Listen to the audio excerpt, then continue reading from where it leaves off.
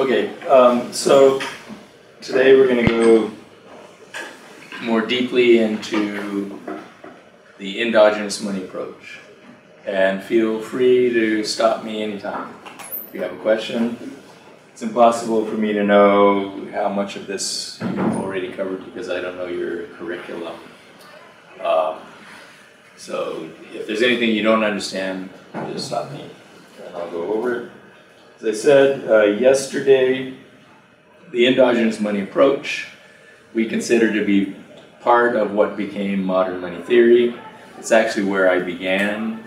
Uh, virtually everything I'm going to present today I did in my dissertation uh, and beginning in 1986. And that was published as a book in 1990, Money and Credit in Capitalist Economies. And um, at the time, it was um, considered to be very crazy uh, by the mainstream. It was picked up pretty quickly by post-Keynesians in America and Britain, and then sort of spread around the world among post-Keynesians. Um, in the past 20 years, even the mainstream started catching on.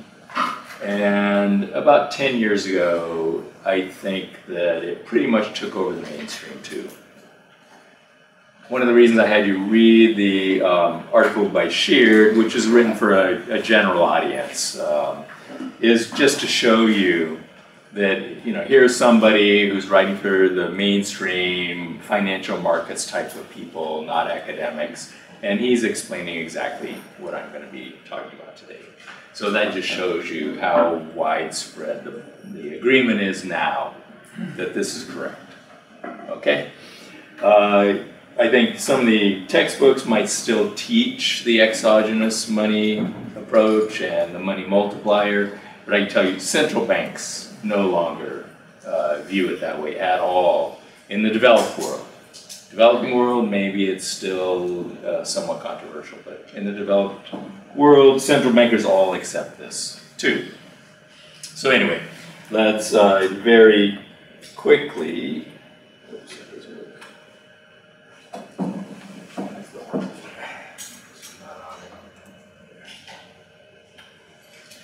Um, review the conventional approach. I had a slide almost identical to this one last night. Um, the money supply is supposed to be exogenous in a particular sense of that term. Uh, I had you read, read Desai because he points out that it actually it's more complicated than what most people had believed. This is the control sense. It's exogenous in the control sense that central banks should be able to control the money supply. Okay? Um, and they do that through the deposit multiplier. They only directly control the quantity of reserves. They don't directly control the money that is created by the private banking system. But if the money multiplier is relatively stable, then by controlling reserves, they control the total quantity of money created. Okay? This was pretty much accepted by both monetarists and by so-called Keynesians, the Keynesians of the textbooks, the Paul Samuelson, and James Tobin type of Keynesians. The only um, debate was over whether the money multiplier is stable. If the money multiplier is not stable, then controlling the quantity of reserves really won't allow you to control the money supply. And so there was a bit of a controversy about whether that money multiplier would be stable. Over time, there were several papers uh, that purported to empirically demonstrate that the money multiplier is stable. Okay, Brunner uh, had a paper in 1968. He's actually, the, as far as we know, the one who coined the term monetarism. So we all associate it with Milton Friedman, but it actually was Karl Brunner who came up with the term. And in this 1968 paper, he purported to show that the money multiplier is stable. Later, I think it's in 1981 or 82, someone named Baltensperger showed uh, again that the money multiplier actually is very stable. And the variation of it is so small, it's easy for the central bank to offset that by varying the quantity of reserves. So the argument is that they um, target reserves, and that would allow them to control, control the money supply. In uh, the early 80s, both the United States and the UK attempted to implement Friedman's money growth rate rule. In both countries, as well as in Europe, uh, and almost certainly in Brazil, there was high inflation. And the uh, Keynesians didn't know what to do about it because it came with high inflation. So to fight high, uh, I mean high unemployment, to fight high inflation, you need to slow down the economy using mostly fiscal policy because Keynesians believe fiscal policy was more powerful. But if you have high unemployment, you need to stimulate the economy. Okay, so you need expansive fiscal policy. So you couldn't possibly do both at the same time, so they were at a loss what to do about stagflation. And so the central banks of uh, Britain and the US decided, well, we can't use fiscal policy, let's use monetary policy. So what we're going to do is bring down the rate of growth of the money supply to very low levels like 4% per year. This is what Friedman had always recommended. They tried to do it. They could not hit their money targets. And the rate of growth of money supply became completely disconnected from the rate of inflation. Okay? So in the United States, uh, they're supposed to be bringing down the rate of growth of money supply to about 4%. What actually happened is it shot up to 16% per year. Now, 16% rate of growth of money supply should have led to very high inflation, but actually inflation started coming down. Okay, so we were getting explosive growth of money supply, inflation coming down, and the central bank saying, for whatever reason, we don't understand it, we can't hit our money targets. So they abandoned them. So that was the end of monetarism. Okay, as a practical matter, they said we're not going to try to target the money supply anymore. there was still some lip service for another decade in the US. They would still announce money targets, but they wouldn't try to hit them. And then finally, by the 1990s, they stopped announcing money targets, said we don't do that anymore, we target the interest rate. Okay, so that was the end of that um, story. What is money? I already went through that uh, last night, so I won't go through that again. All right, Desai uh, points out that there are uh, two uh, different definitions of endogeneity, and then I'm going to add a third one. Um, in the theoretical sense, money supply and money demand cannot be independent because even if the central banks are controlling the money supply, it's not likely that they completely ignore money demand. So if they respond at all to changes of money demand, then the money supply is endogenous. Okay? Even if they're controlling it, it's still endogenous in a theoretical sense. The control sense is what most people have been talking about anyway. They really weren't talking about theoretical endogeneity. They were talking about uh, exogeneity in the control sense. And of course, as I said, we've given that up anyway. There's a, a third sense that's related to the theoretical sense, but it's uh, in the empirical sense. Um, Cooley and Leroy wrote a very nice article on trying to identify a money demand curve. Okay? And they uh, argued that it's actually going to be impossible to do that actually, you know what, I, it will be useful if I draw something over here on the board. I thought I wouldn't move, but it's, it's easier to explain this if I show you in a picture. Okay, take any market. I assume you studied uh, demand supply curves. Unfortunately, it's complete nonsense. I don't teach them. Okay, but you got price and you have quantity. Now, in the real world, obviously, you never observe a demand curve. You never observe a supply curve. What you observe is, let's just say, These are three different years. Okay? 2000, 2001, 2002. You observe dots. That's all you observe. Okay? Now, you're all looking at this, and I know what you think you see. Okay? You think you see a demand curve. Okay? It's possible that you do. Okay? But you never really see that. All you see is the dots. Okay? To identify what the demand curve looks like, you have to know what happened to the supply. You're all imagining that what happened was supply shifted. Okay, but we don't know that to be true. It could have been any combination. Maybe actually they look like this. Both shifted every time. You don't know. What we need to do is try to identify the demand curve. Okay? Now, for um, basically uh, since the late 50s, until about 1990.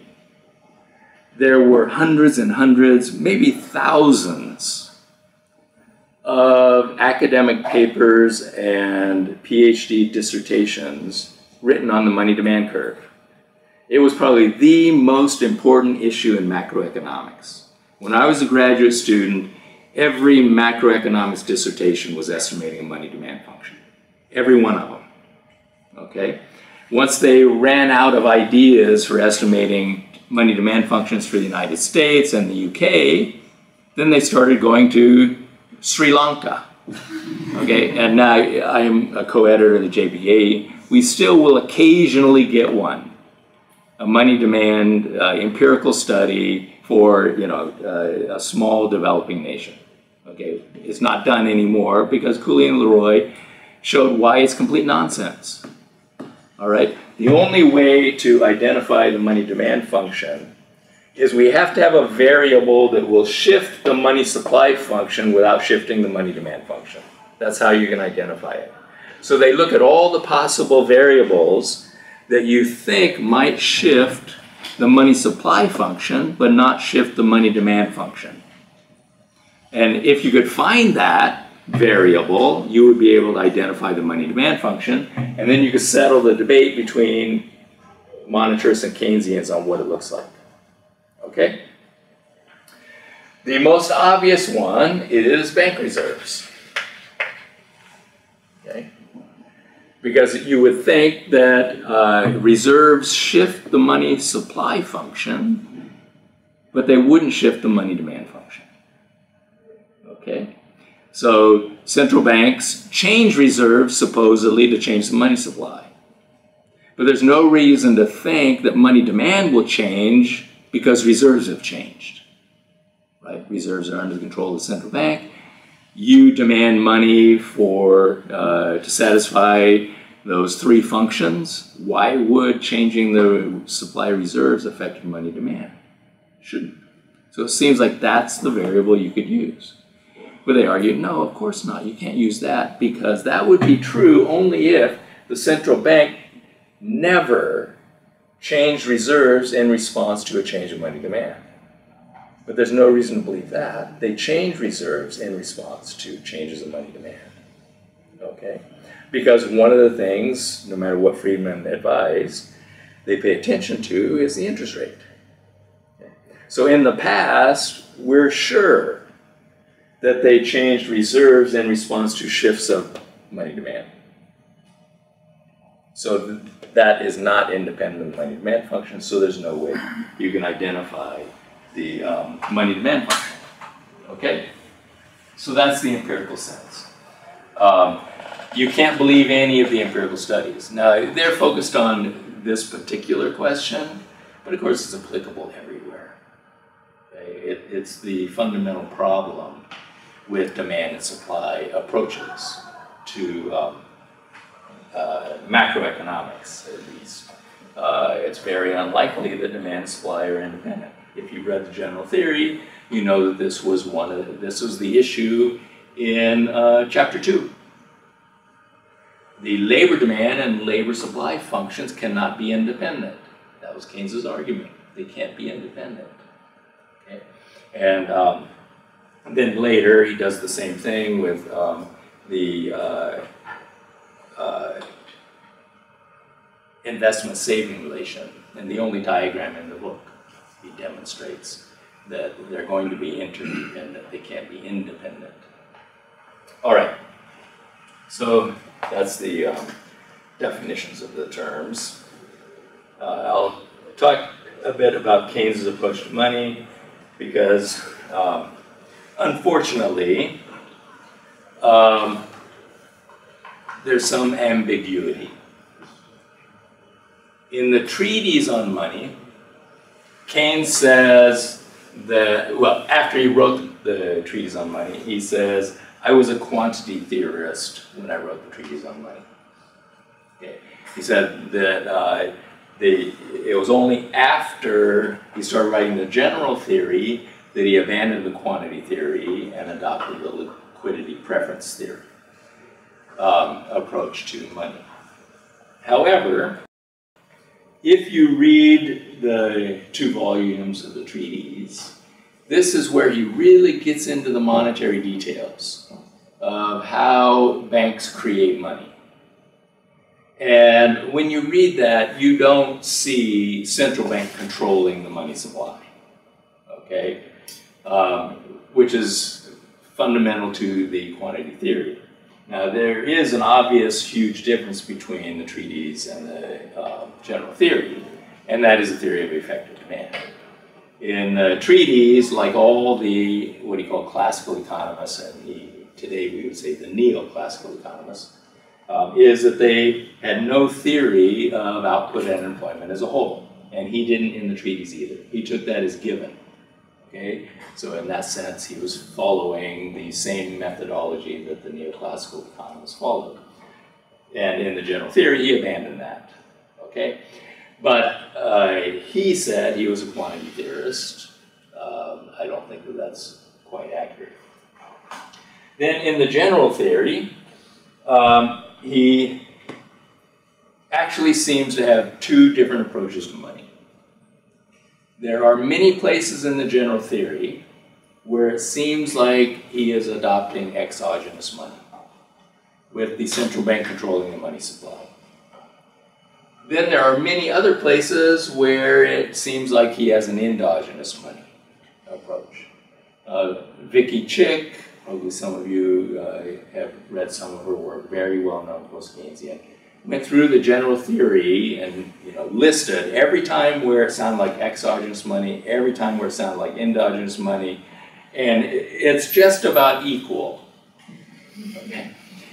Um, and when you read chapter 13 and chapter 15 in the general theory, it sounds like he's talking about a vertical money supply curve, which would be exogenous money.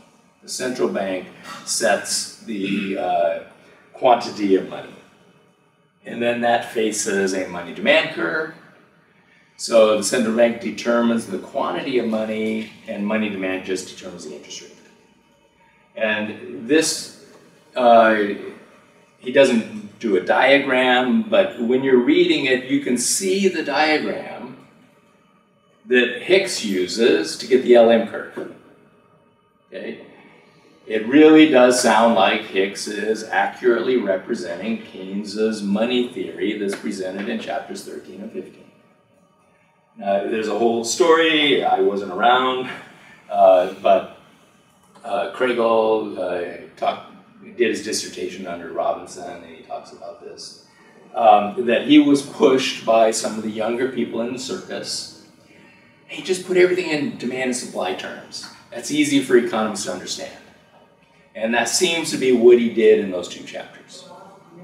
So it sounds like he's talking about a fixed money supply and a downward sloping money demand curve, and those two things determine the rate of interest. Then there's a single rate of interest determined in the money market that we weigh against the marginal efficiency of capital to get the quantity of investment. So you also sort of get the IS, sorry, the IS curve uh, out of that explication. Okay. Then he has chapter 17. Chapter 17 is completely different. It's a completely different explanation. Okay? It is really a liquidity preference theory of the rate of interest. Instead of having a single interest rate determined by money demand and money supply, he has a different interest rate for anything you can hold through time. So he actually starts off the chapter, for those who read the uh, chapter 17, most people skip it. Okay, Paul Krugman, I never bothered reading that one. Okay, because it is very difficult. And he starts off and he talks about a wheat rate of interest. Okay, the own rate of interest on wheat. And then he goes on, own rate of interest on copper. Anything you can hold through time, physical commodities, but also financial assets and capital equipment. Every one of those has its own rate of interest. And we can measure those own rates of interest in terms of the money rate of interest. And then he argues money has special properties. And that is why it makes sense to measure all of the interest rates in money terms instead of own rate terms. And it's a long, very complicated chapter, and it bears no relation at all to chapter 13 and 15. Okay? The um, post Keynesians who are called fundamentalists, who include Davidson, uh, Minsky, Kregel, all argue that chapter 17 is the critical chapter. And it's the one that is left out of uh, most of the um, followers of Keynes, and in particular, all the ones who use ISL. Okay, so there was a huge problem in the general theory, presenting two, maybe even more than two, I focused on two, two different theories of money in the general theory, and it's confusing and very misleading. All right? Now, the reason why it's important is because of the, the future development of endogenous money theory. The chapters 13 and 15 seem to be exogenous money. Chapter 17, it's not exogenous money at all. It's not a story of money demand and money supply determining interest rates. The interest rates are determined by Q minus C plus L, okay, the yield minus the carrying cost, plus L, which is the reward uh, to liquidity, okay, the liquidity premium. He calls it a liquidity uh, premium theory of the rate of interest because that's the most important thing. It's subjective, it can vary a lot, it depends on your optimism and pessimism that will determine that whole spectrum of interest rates, which then determines uh, what can be done. That is, what kind of capital investments can be undertaken, which determines effective demand. That's why it's the critical chapter. All right? It's all about liquidity preference. Okay? Um, unfortunately,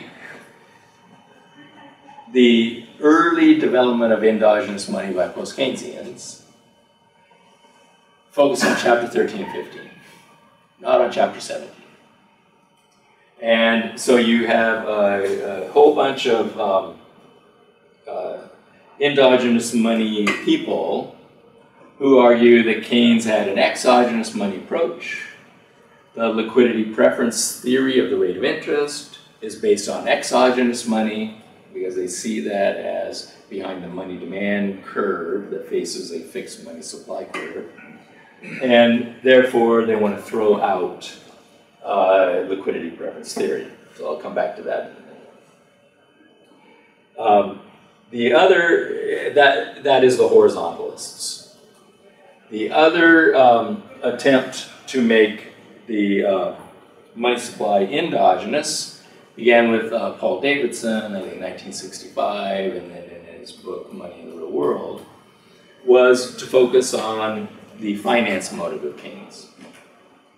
After the general theory, uh, the general theory is uh, subject to critiques, and Keynes responds to those critiques in some articles and also in letters. And uh, in uh, one of those papers, he argues that I um, left out an important motive for holding money. The general theory has the transaction, the speculative, and precautionary motives for holding money. Those are all in chapter 13 and 15, and they all became part of the Keynesian exposition of the textbooks. Keynes says, I forgot the finance motive, and it's the most important one, which is a little strange. He spent years writing the general theory, and he left out the most important reason why you want to hold money. So the finance motive. And the finance motive is uh, a motive to hold money in anticipation of spending. And he says normally banks will meet that demand for money. So in other words, you plan to buy a car, what do you do? You go to the bank and borrow money, and then you buy the car. Okay, that would seem to be what he's talking about. Or you want to buy a machine. You go to the bank, you borrow money, you hold it to buy a machine. The finance motive, it sounds like it's a demand for loans. So post Keynesians picked that up and said, well, see, he doesn't have exogenous money. This is clearly endogenous. People plan to spend, and banks will normally provide the finance, create the money so that they can spend. So there was a, a whole um, uh, group of post Keynesians who are using this kind of argument as the basis for an endogenous money that you can find in Keynes. They're growing pretty much at the same time was another approach, the circuit approach, which was um, sort of a rediscovery of work of French economists in the 1920s that argued that um, we don't want to get into the kind of infinite regress arguments that I was talking about last night. If you're going to talk about the circular flow, you have to begin with money getting into the circular flow finance spending. Okay?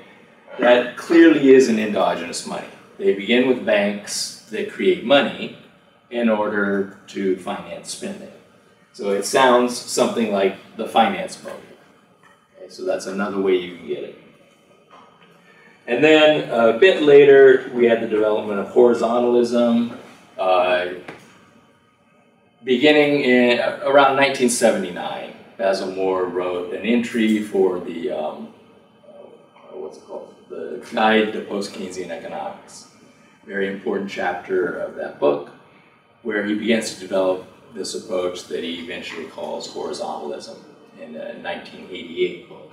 So this is basically a story of the 80s, developing horizontalism. So I'm going to first talk about the um, circuit approach, and then horizontalism, and some problems with horizontalism, and then uh, move on to um, an approach that's informed by all of this, uh, but I think it's uh, not subject to some of the problems. So I presented this uh, yesterday. This is the typical textbook exposition in which the um, households provide savings to financial institutions that can then lend them out. Okay? And so the financial institutions are intermediaries. This is the typical way that they're presented by orthodoxy. Banks are intermediaries between savers and investors. Well, that doesn't tell you how the households got the money in the first place, that they could lend to the bank so the banks could lend them on to investors. So this is what the um, circuit approach is reacting against. Graziani was one of the most important developers in Italy. It's called usually the French-Italian circuit approach. And um, he lays out uh, the basic principles of the circuit approach uh, beginning in 1980. Very good paper. And then um, a book must have been in the early 90s. Came out with a book called The Monetary Theory of Production. The theory of the monetary circuit rejects the approach that I started with last night, the barter story, Robinson Crusoe, and all that. Um, it focuses on the power of banks and firms. They, unlike um, the neocla- neoclassical approach, who is sovereign in the neoclassical approach? In microeconomics, what are you told? The consumer is sovereign. It's the consumer that has the power. The firms just respond. They don't have any power at all. So many buyers and so many sellers, nobody can influence the price. Okay, so that's what Graziani is rejecting. It begins with bank credit money. And traditionally, there was no state. So there's no state money. Uh, yesterday I was talking about state money. There's no state money in this book. They begin with banks. Um, after the rise of modern money theory, some of them started trying to put the state into it. Parguez and Seccareccia and Lavoie have all added the state, but traditionally it was not there. So they begin with bank money. Um, credit money is a token, a paper currency, but it's not just a promise to pay. Okay, so this is different from what I was saying yesterday, Minsky, anybody can create money. They don't accept that. Okay, it's special. If only a promise to pay is issued, that's not money because at the end of the period, a final payment is still needed. So if I write IOU, eventually I have to give you something different. I can't just give you another IOU. Okay? I have to give you a final means of payment in order to get, at, get out of debt, otherwise I'm still in debt. That is, a credit economy is not a monetary economy. If you read Schumpeter, you know that he makes this distinction between money uh, economies and credit economies. Money is a final means of payment. It cannot provide seigniorage. Okay, seigniorage is the idea uh, that's, that's based on this myth of uh, a commodity money. So the, I didn't quite finish the barter story, how the government comes in uh, to that story. The idea is that originally the government issues uh, paper notes that are backed by gold. Uh, if you bring in 16 ounces of gold, the government uh, will coin 14 ounces of that for you and keep two ounces to coin for itself. That is what seigniorage is. Okay? And when the government finally goes off gold and issues just paper money, seigniorage reaches almost 100%. When they are co- coining gold, they have to obtain gold. Okay, and so they're giving you 14 coins for your gold. So the seigniorage is only the two coins they get. But when they go to a fiat money, they don't have to give you anything. They just issue paper money. It costs them essentially nothing to print, so seigniorage reaches 100%. Okay, so I'm just explaining what he means by seigniorage in case you don't uh, know what it is. It's all based on this myth. Okay, that is not the way the money system worked, ever. The seigniorage uh, was always very high. Um, so, uh, was it? It cannot provide seigniorage to anybody. You cannot use your own IOU to make payments. You have to use a third party IOU. Okay, uh, a first party IOU would be that I can make a payment with my own IOU.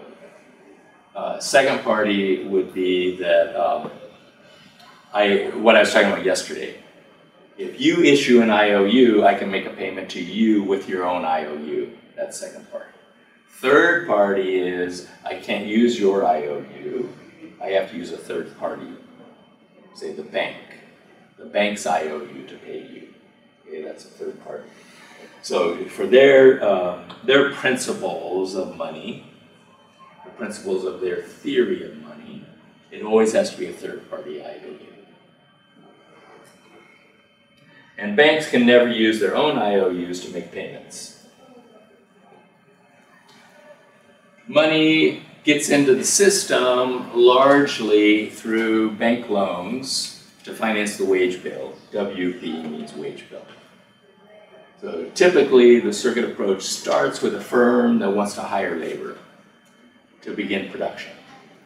And banks accommodate that by lending uh, to finance the wage bill. And if you um, have taken money in banking, uh, come across the real bills doctrine, this is similar to that idea. The creation of money is very closely tied to the production in the system. So money is being created to finance the wage bill, which then produces the goods and services that uh, the workers use to buy with their wages.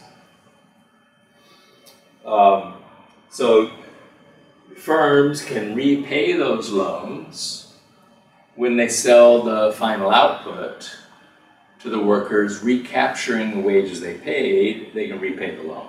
I'm going to have a diagram in just a second it's not clear in your mind, it will be. Uh, the uh, problem is that workers might not spend all their wages.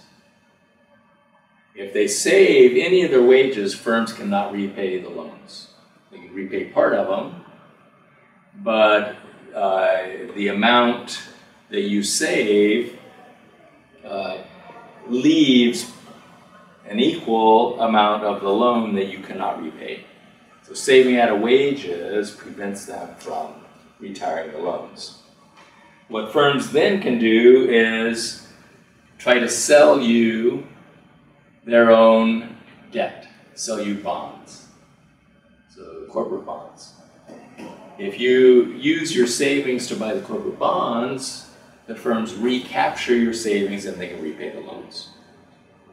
So, in a sense, the outstanding supply of bonds uh, is represents the loans that they had to repay by capturing your savings. If liquidity preference rises, some savings cannot be recaptured in bond sales. Okay, because liquidity preference is your preference to hold the deposits rather than hold the bonds. So liquidity preference will determine how many of the bonds will have to be bought by the banking system in order for the firms to repay their loans. So here's a simple model.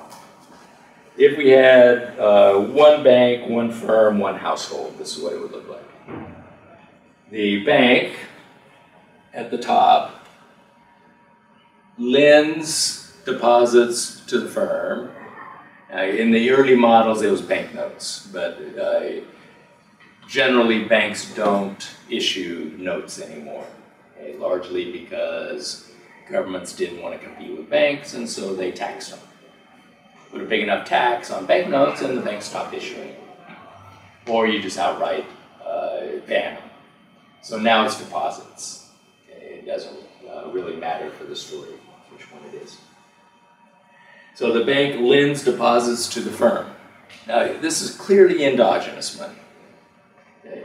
Can they run out of deposits to lend to the firm? No, they can't run out. Okay. Today it's just keystrokes. Keystroke credits to the deposit account of the firm. They can't run out. The um, firm then uses those deposits or notes to pay wages to the households. So that's the second arrow. The households are, supply the workers, they produce the output, and uh, then they buy the output from the firm.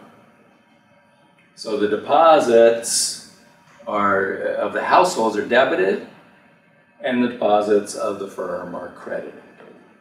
then the firm can repay the loan to the bank. Okay, so this is a circuit of the deposits created by the bank when they make a loan, and then finally destroyed, marked off the deposit account of the firm when the loan is repaid. Now, if households don't save, then if firms borrowed a hundred, paid a hundred in wages, sold the output for a hundred, they can repay the loan of a hundred, right? If households save 10, they can only repay 90. So that's what Graziani's arguing. If there's any saving at all, the firms can't repay their loans. So uh, what the firms can do is try to capture the savings by selling bonds. So that's what he's. So that's one potential problem. Second potential problem. The firms cannot pay any interest on the loans. If they borrowed a hundred, they can only repay a hundred because they can't pay more wages than a hundred. Households can't spend more than their wages, a hundred. The firm's revenue can't be more than a hundred. So there's no way they can pay interest. All right? So this is a problem. So it took, you know, years to figure out possible solutions to that kind of a problem. And one way to do it is, well, the bank pays interest on the deposits. So if they pay 10% interest on deposits, some of the time the deposits are held by the firm, some of the time the deposits are held by the household. Each of them are, are getting interest. So the firm actually could spend more than 100. The household could spend more than 100. So the firm can pay more than 100 and pay interest. Okay, well, the problem with that is they can't pay more in interest than the bank's paid out. So, for example, the bank is charging 10% and it receives 10%, the bank can't make any profits. That's a problem. Okay, and then the final problem is what firm wants to pay 100 in wages and receive 100 in revenue? A not for profit firm. There's no profits. Okay, so that, uh, that debate actually still continues. How are you going to solve that one? Okay, well, there's one easy way. You say, oh, there's a government. And the government buys part of the output. So the firm can sell the output for 110, not 100. And the advantage of throwing the government into the model is governments don't have to make profits. See, firms have to make profits. Governments don't.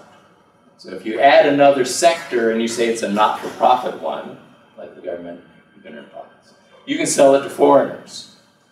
Okay, so exports could be the source of your profits. You can add an, a whole other circuit that is not about producing consumer goods, but it's about producing investment goods. The workers in the investment sector will want to buy some of this output. And that will allow for profits in this circuit. If you've heard of the Kalecki equation, that's what the Kalecki equation is. It's the workers in the investment sector buy some of the consumption output. That creates profits here. You could have, well, you say, you know, this isn't realistic because there's only one firm, there's only one little circuit here. The reality is we have thousands of firms, there are thousands of circuits, and they're all different lengths of time. Some circuits might last a week, some circuits last a month, some circuits last a year. And so with different timing, you could have profits coming in. Okay, so there's lots of other ways uh, to try to figure out how you get profits in the system. All right. Um, the other problem here is, that's unrealistic is there's only one bank. So that is fairly easy to resolve, and uh, Graziani was getting at this that uh, the bank can't retire its own IOUs using its own IOUs. And so what he's referring to is when we get to a two-bank system. So now bank one is lending to the firm. The firm pays wages, but the household doesn't use bank one. they use Bank 2. So when Bank 2 receives the firm's check, they send it to Bank 1 and they say, we want to be paid. And we will not accept your IOU. Okay?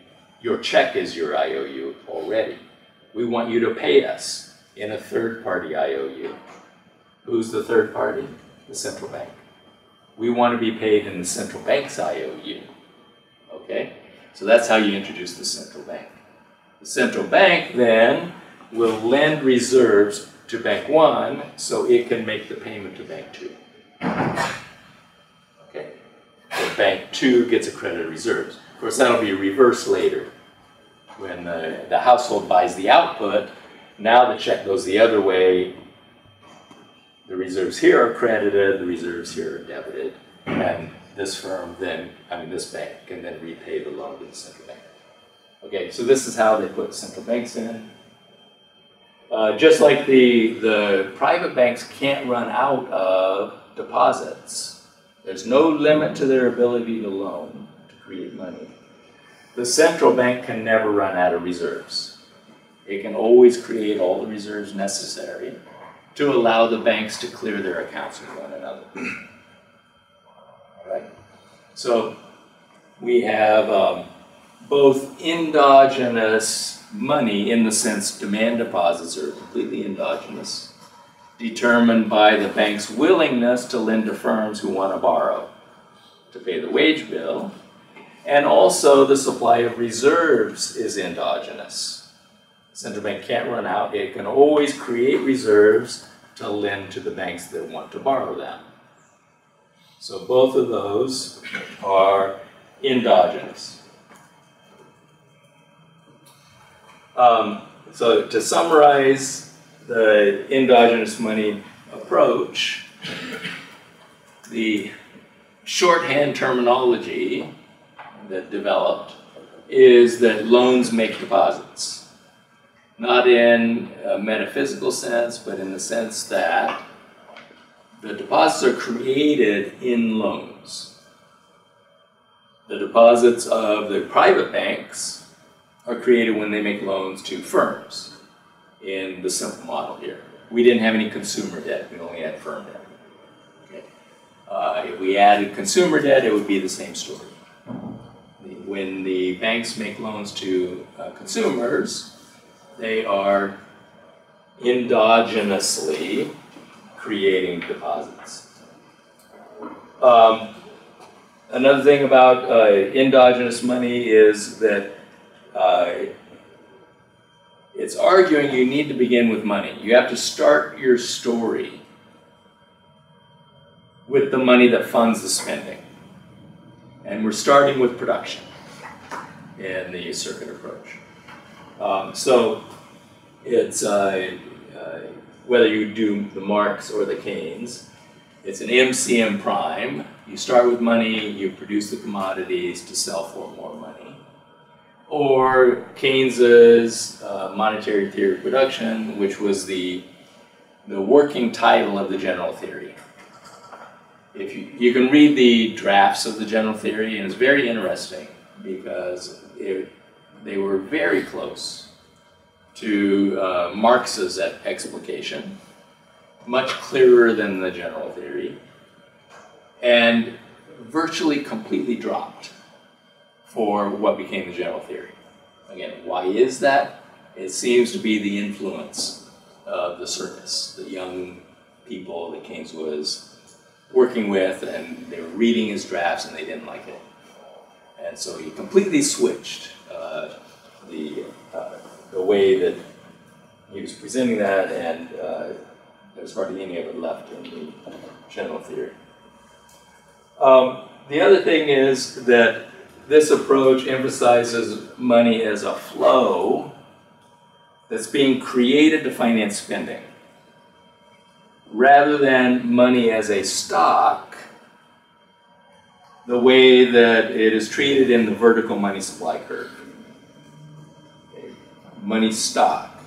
Focus on uh, the uh, motives for holding money That is looking at money as a stock.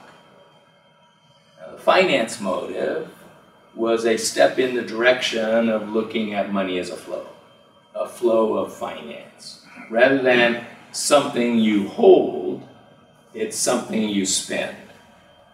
So it's related to the spending that you plan to undertake. The money stock is a residual. If we go back to this diagram, uh, if you looked at money supply data, in the United States, uh, the FDIC reports, let's say M1, the narrow measure of the money supply. Uh, this used to be true. I have to admit, I haven't looked at it for almost 40 years. I don't think it's changed. The third Wednesday of the month. So the third Wednesday of the month, they make an estimate of what M1 is. Okay? Now, we've got these circuits, right? So the, the banks creating money, uh, flowing to households, eventually the money being, the loans being repaid. Okay? But on the third Wednesday of the month, we total up all the money that exists. What does that represent? It represents loans that have been created but not repaid. That's what it is. Okay, because all of the deposits out there have been created in loans, but they haven't been repaid yet. Is that a very interesting number?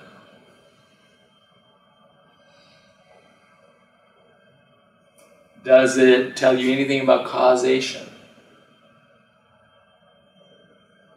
Is it directly related to something like national income or national GDP? Maybe not. Maybe it's completely uninteresting. And its relation to GDP is a coincidence of hundreds of thousands of factors. Okay? How many circuits have begun? How many circuits have closed? How many uh, new circuits have been opened? What is the average length of time of the circuits? Is that growing or shrinking? All of those things will go into determining how many loans have been made but not retired by the Wednesday of the third week. So for monetarists, the money supply is everything, right? Their whole theory was based on the quantity of money. That is the quantity theory of money. It's supposed to be the most important variable. For post Keynesians, the money supply is completely uninteresting because it's just a residual. What's interesting is this when the loans are made. Okay, not the outstanding quantity of loans. Because loans are important because they can finance spending, which is what we're interested in. We're not interested in the quantity of loans that haven't been repaid yet. You know, until we get into things like financial instability, outstanding debt that can't be repaid. Okay, that's interesting. But money supply by itself is not. So that's why I'm saying it's just a residual. Any correlation between income and money is reverse causation. Okay, it's not money that causes the spending. It's true. Whoops. It's true that if this firm wants to spend, it's got to get the loan. But it's not getting the loan that causes them to want to spend. They want to spend, they want to hire labor, so they go to the bank and get a loan. Okay, so it's necessary for them to get the loan, but it's not that they woke up some morning and found out, oh, we got money. What a surprise. Let's go spend it. That's the monetarist story. That's what Friedman says. When you ask Friedman, how does money get into the economy? You all know, remember what he said. Assume it came from helicopters. Okay, so you literally wake up in the morning, you find a bag of money in the backyard, and you say, let's go spend it. That's his story. Which is complete nonsense. That's not how money gets into the economy. It gets into the economy because the firm wants to spend. And so they go to the bank and borrow. So it's a completely different causation, reverse causation. Now, post-Keynesians didn't, uh, weren't the first ones to come up with. Tobin has a very famous paper, okay, post hoc, where he argued that was possible. The correlation might be due to reverse causation. Post-Keynesian going further, it is reverse causation. It has to be re reverse causation because money never drops from helicopters. Um, in the uh, from in the 50s and the 60s, the velocity of money was fairly constant. And monetarists used that as proof they were right. Okay, there's a constant relationship between money supply and spending, so if you control the money supply, you will be controlling spending. Kaldor uh, and uh, others who worked with the Radcliffe Committee uh, that issued a report in 1959 all argue no, that's just evidence of reverse causation. The constant velocity is just proof that um, the relation goes from income to money. And there's a pretty fixed relation between how much money you need to finance those circuits so constant velocity would occur.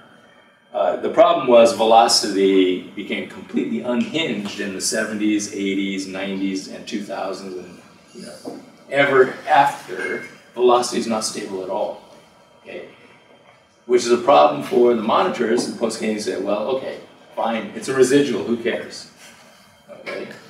Uh, it's just the outstanding quantity of loans that have been repaid, and there's no reason to think there will be a fixed relation to spending of that. Okay, finally, um, the development of horizontalism. Um, Basil Moore's 88 book was called Horizontalists and Verticalists. The verticalists are the people who imagine the money supply is vertical, fixed by the central bank, and then money demand, which is called liquidity preference by the Keynesians, determines the interest rate. So that's the verticalist approach. In um, the orthodox approach, excess money leads to inflation. If too many of those helicopters are flying and dropping bags of money, and people wake up, find it, go out and spend, it's going to cause inflation.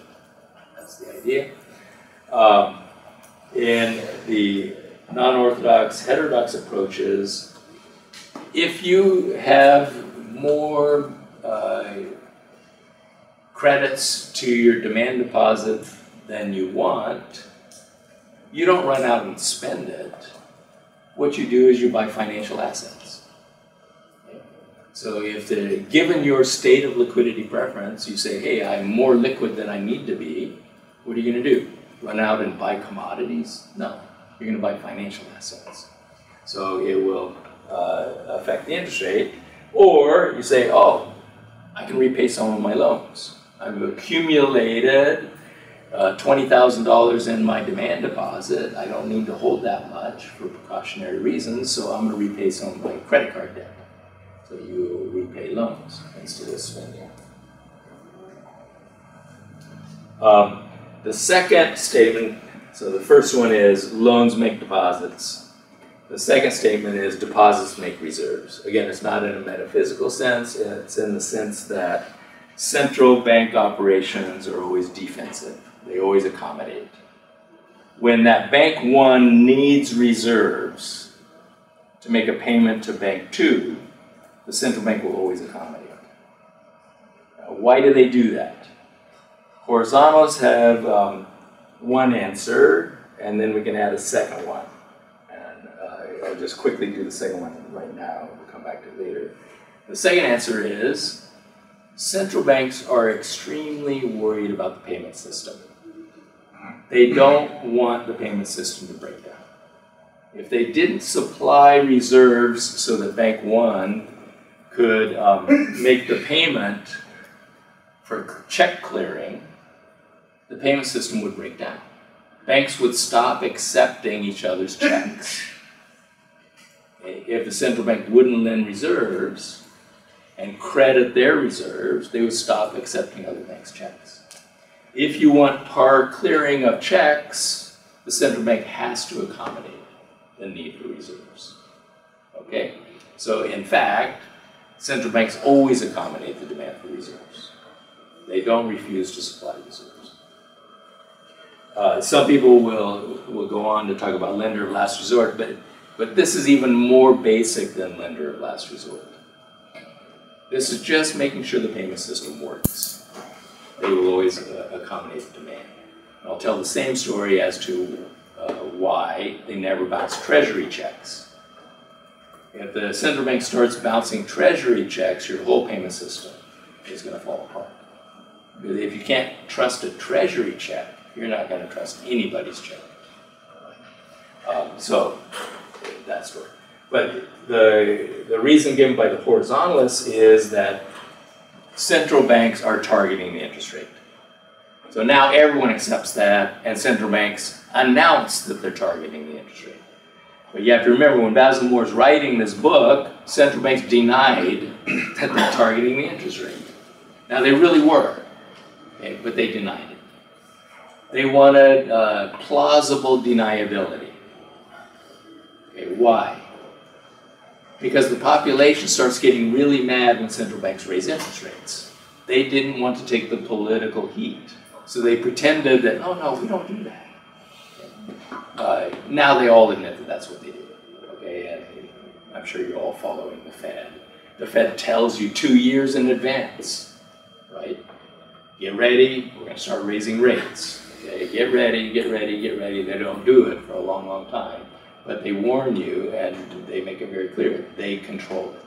Well, if you're going to control the interest rate, you have to supply the reserves the banks want, because otherwise they will drive the bank rate up the bank rate is the rate they lend reserves to each other, which has become very important in, uh, in the past 50 years. 50 years ago, it wasn't very important. The interbank lending market wasn't very well developed, but it's become very well developed. Okay, so if a bank is short reserves, first they go to the interbank market, call it the Fed funds market in the US. As sort of a last resort, they will go to the Fed. So you would get pressure in the Fed funds market, drive the interest rate above the target. So the central bank would miss its interest rate target if it didn't supply the reserves the banks want. That's why they will always supply reserves. Um, this was Basil Moore's argument. In a mono-reserve pyramidal system, okay, pyramid means that, um, and I'm going to show you a pyramid a little bit later. The pyramidal reserve system means that uh, banks make payments to each other using the central bank's reserves. Okay, mono reserve means there's only one supplier, the central bank. Um, in each country. The reserves are non-discretionary. They can't come from anywhere else. Okay, it's true you can borrow reserves from a bank that has more than they need, but they can't create reserves. So once all the um, uh, excess reserves have been eliminated, the only supply is the central bank. The central bank has to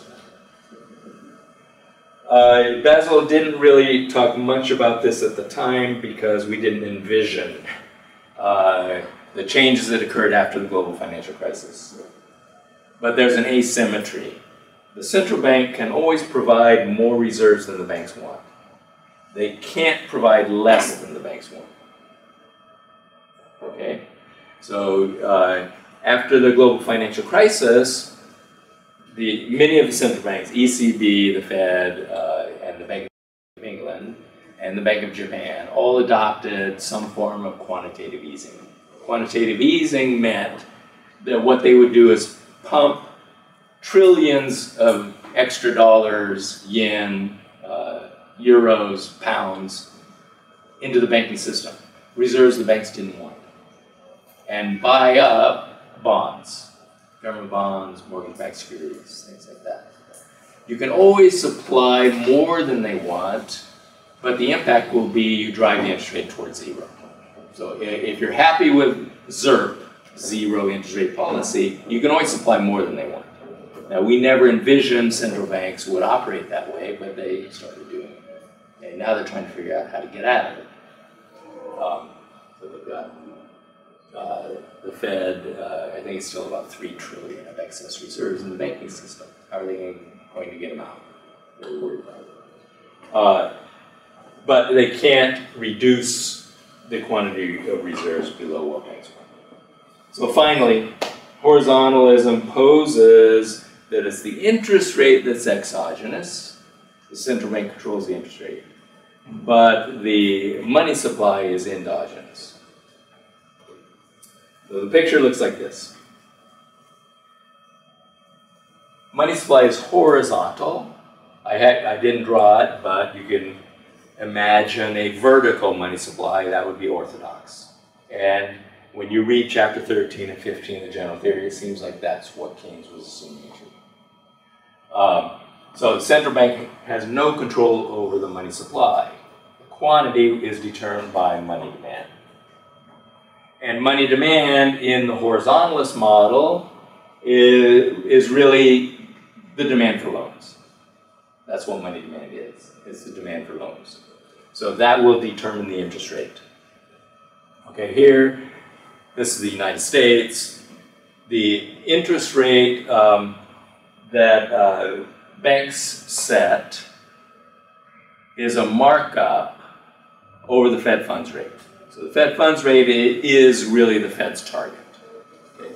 If that's 1%, obviously banks are not going to create money at 1% interest because they need profit. So if they have to pay 1% to get reserves, they're going to add a markup in order to make a loan. So the markup covers their business costs and allows profits for the banks. How much is the markup? It's probably at least four percentage points on deposits and probably more like six percentage points on loans. They need about 4% to cover the costs of managing deposit accounts. Possibly it's gone down with technological advance, but probably not very much. So uh, banks um, have to cover those costs, and then loans, of course, there's also the, uh, the loan officer costs and the default risk. So we got to cover that. So they add that markup. Now, this is simpler. If you read Basil Moore's book, he'll have a number of diagrams that, that get more and more complicated. He talks about um, two inputs and two outputs in the for-profit banking uh, sector. The uh, inputs to the banking um, business are the deposits. Okay, so they're creating them, but the problem is that when a bank makes a loan, that deposit is probably going to end up in another bank. Just like in my example, Bank 1 created the loan for the firm, but the deposit ends up in Bank 2. So Bank 1 now has to sort of refinance its position in the loan. They've got to attract a deposit, otherwise they have to go to the Fed and borrow. They don't want to do that. Okay? They would rather issue another deposit. So there's a, a cost of issuing deposits. Retail deposits would be your local bank, the local community goes to that bank. That's the retail market. In the retail market, uh, banks are price setters. Okay? They can probably pay you a slightly lower deposit rate, interest rate on deposits, because you have the convenience of going to your local bank. If it's a, um, a national bank that might not have branches in your community, they can get away with paying you a lower interest rate. So we're saying that there's some pricing power in the retail market. The wholesale market would be like certificates of deposit. I assume that you have these things. That would, in the old days, they were advertised in the Wall Street Journal. Okay, if you uh, have $100,000 and you want to buy a CD, uh, that market is um, price taker and quantity setter. That's a national market uh, the individual bank really has no control over that. They've got to compete with everyone else who is selling $100,000 CDs. Okay? Then in the output market, the output is the loans. We have the same uh, sort of uh, local monopoly power.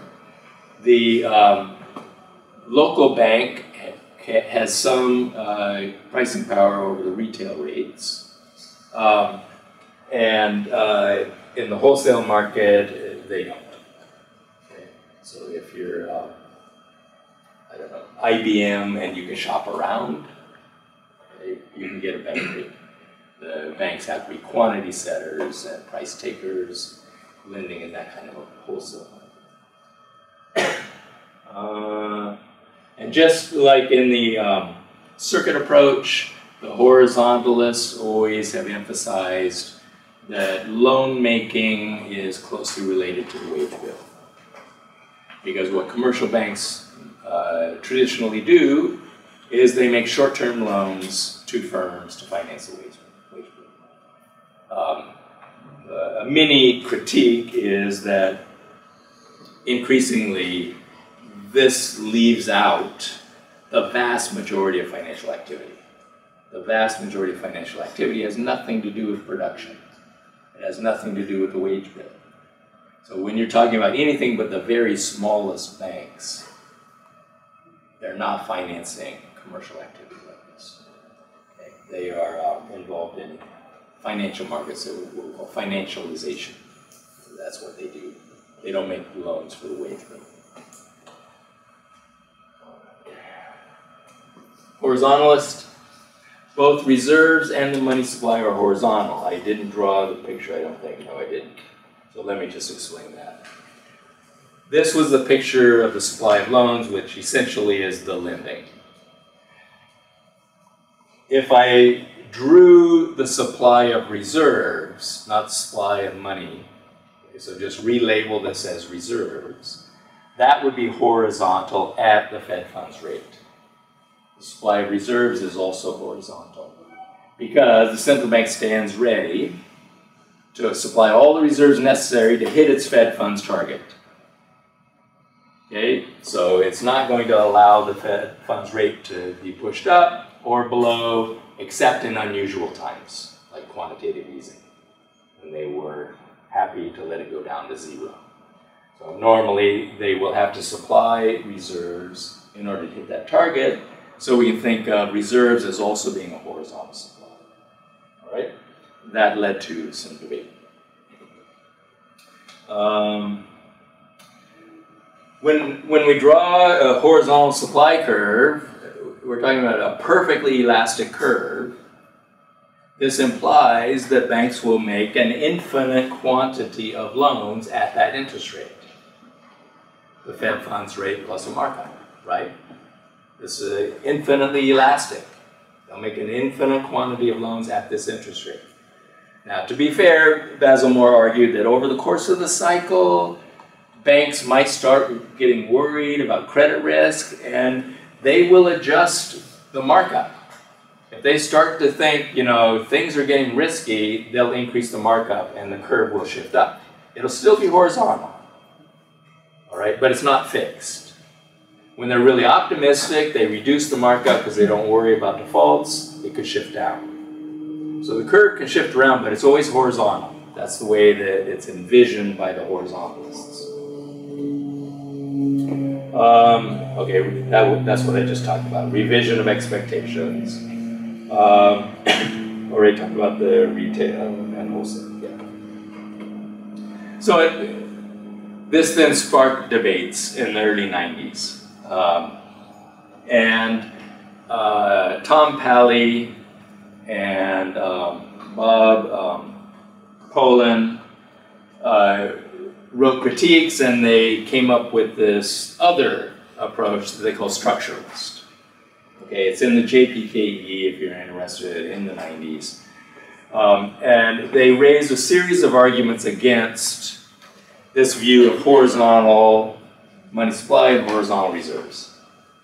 Uh, reserves are not horizontal uh, because the central bank uses both price and quantity constraints. So they argued that uh, the central bank actually does not stand ready to supply reserves at the Fed funds rate target. What they will do is use quantity constraints. I don't want to go too much into details. If you're really interested, you, you can read it. It, it turns out, I think, this was all completely mistaken.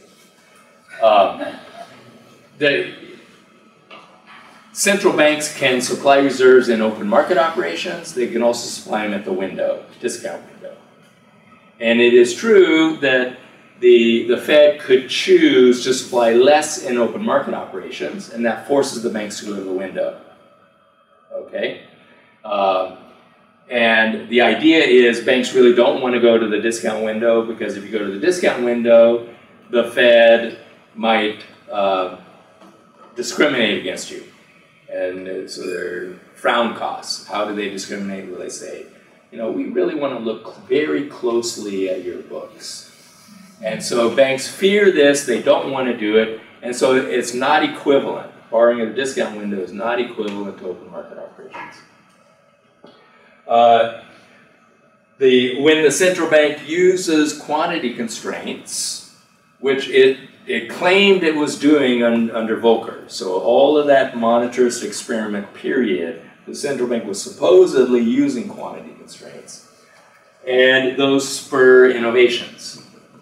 And uh, both of them, Palley and uh, Pollin, were looking back to early work by Minsky in the 50s in which he, he talked about how if central bank tries to constrain money growth, banks will innovate and get around the constraints. So it was important to Minsky's financial instability hypothesis, so they were invoking that.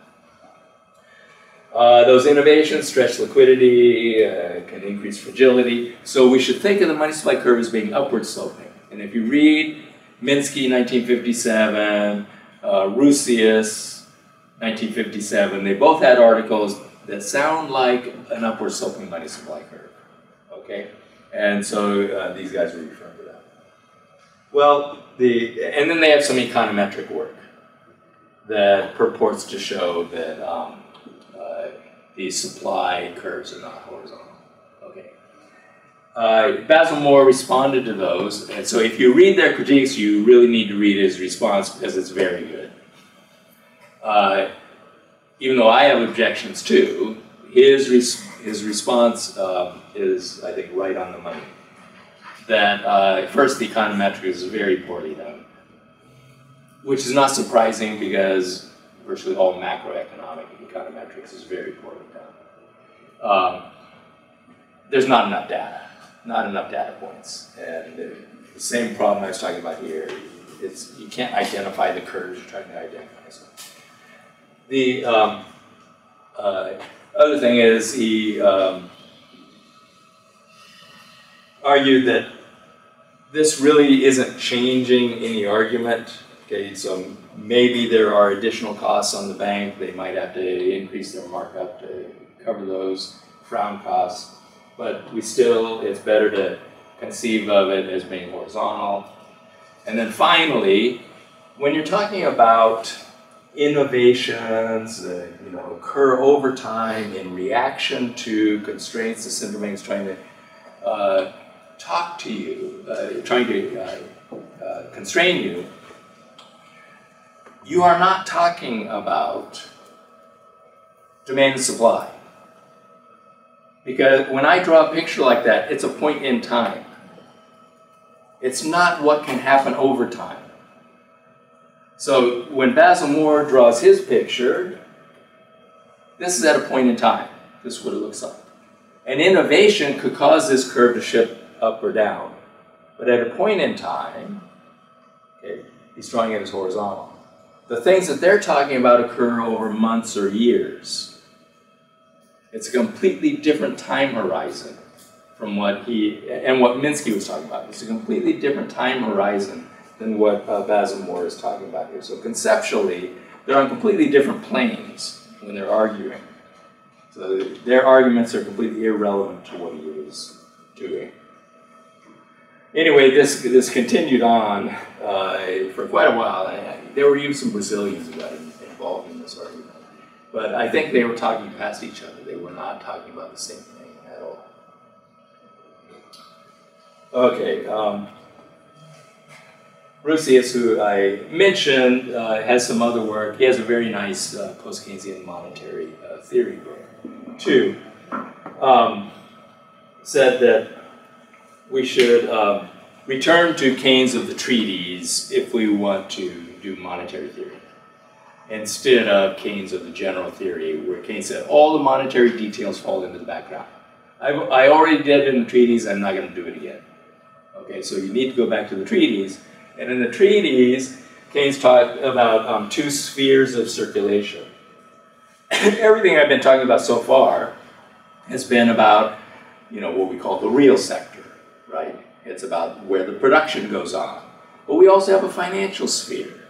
And these two things are not, not necessarily closely related. They could be closely related, but they're not. Okay? And increasingly, the financial sphere is more and more separated he, he started arguing this a very long time ago, before everyone talked about financialization. But, uh, and, and, Keynes was worried about it too. But today, they, they're almost entirely different spheres, and most of the financial instruments that are being created have to do with financialization, not about financing production. And so, if you ignore that, and just focus on production, you're only capturing a very, very small part of the financial system. So that's the point he was making. And um, he goes on to argue that um, if the financial sphere is so much more profitable than the productive sphere, everyone's attention will go to the financial sphere, which is what we see occurring. And when I get to Minsky, a bit later, talking about the rise of money manager capitalism, that's what it's all about. It's all about the financial sector is very much more profitable. That's why uh, General Motors, General Electric, everybody had their own bank. That is where most of their profits came from. Okay, so they're making cars, but they don't make any profits on the cars. They make profits on the finance. Uh, in the beginning, the finance was related to the cars. They gave you the loan so you could buy the car. They could sell you the car with no profit at all. They made their profits on lending you money to buy the car. But then they said, well, hold it, but there's also lots of money to be made making home mortgage loans, which have nothing to do with building cars. So then they get into mortgage lending and then everything else, every other crazy thing that all the uh, banks were doing. They're doing the same stuff. Okay, well, that's just an example of what he's talking about. Um, so uh, finally, uh, resolution. Uh, I think it is useful to think of reserves as being horizontal. So the central banks set a target, and normally uh, they want to supply the quantity of reserves banks want in order to hit their target. Um, so this is strictly true if they don't pay interest on reserves and they don't want ZIRP. Then they've got to supply the quantity of reserves banks want. If they're willing to have ZIRP, they can supply extra. If they pay interest on reserves, then they can supply extra, and the interest on reserves will be the going interest rate. Whatever they pay on reserves, that will be the base rate. So effectively, that becomes their target. Um, we we uh, should accept endogenous money, and everyone does now. However, we shouldn't throw out liquidity preference. The, the, the horizontalists argue that the interest rate is exogenous. It's determined by the central bank. You know, that's strictly speaking, that's the overnight interest rate. So they determine the bank rate or Fed funds rate. But then banks determine the rate, the rate that they pay on deposits and the, as a mark down below that, and the rate that they charge on loans as a markup above that. So we still think of it as being exogenous, determined by the central bank. All right? And so Basil Moore, uh, Mark Lavoie, uh, Louis Philippe Rochon all argue we have to throw out liquidity preference. Because Keynes presented liquidity preference as the theory of interest rate determination. Well, if interest rates are determined by the central bank, and then with just a markup and a markdown, they're not determined by liquidity preference. So they argue that liquidity preference was only consistent with that vertical money supply curve and downward sloping money demand curve. Okay, so we have to throw it out.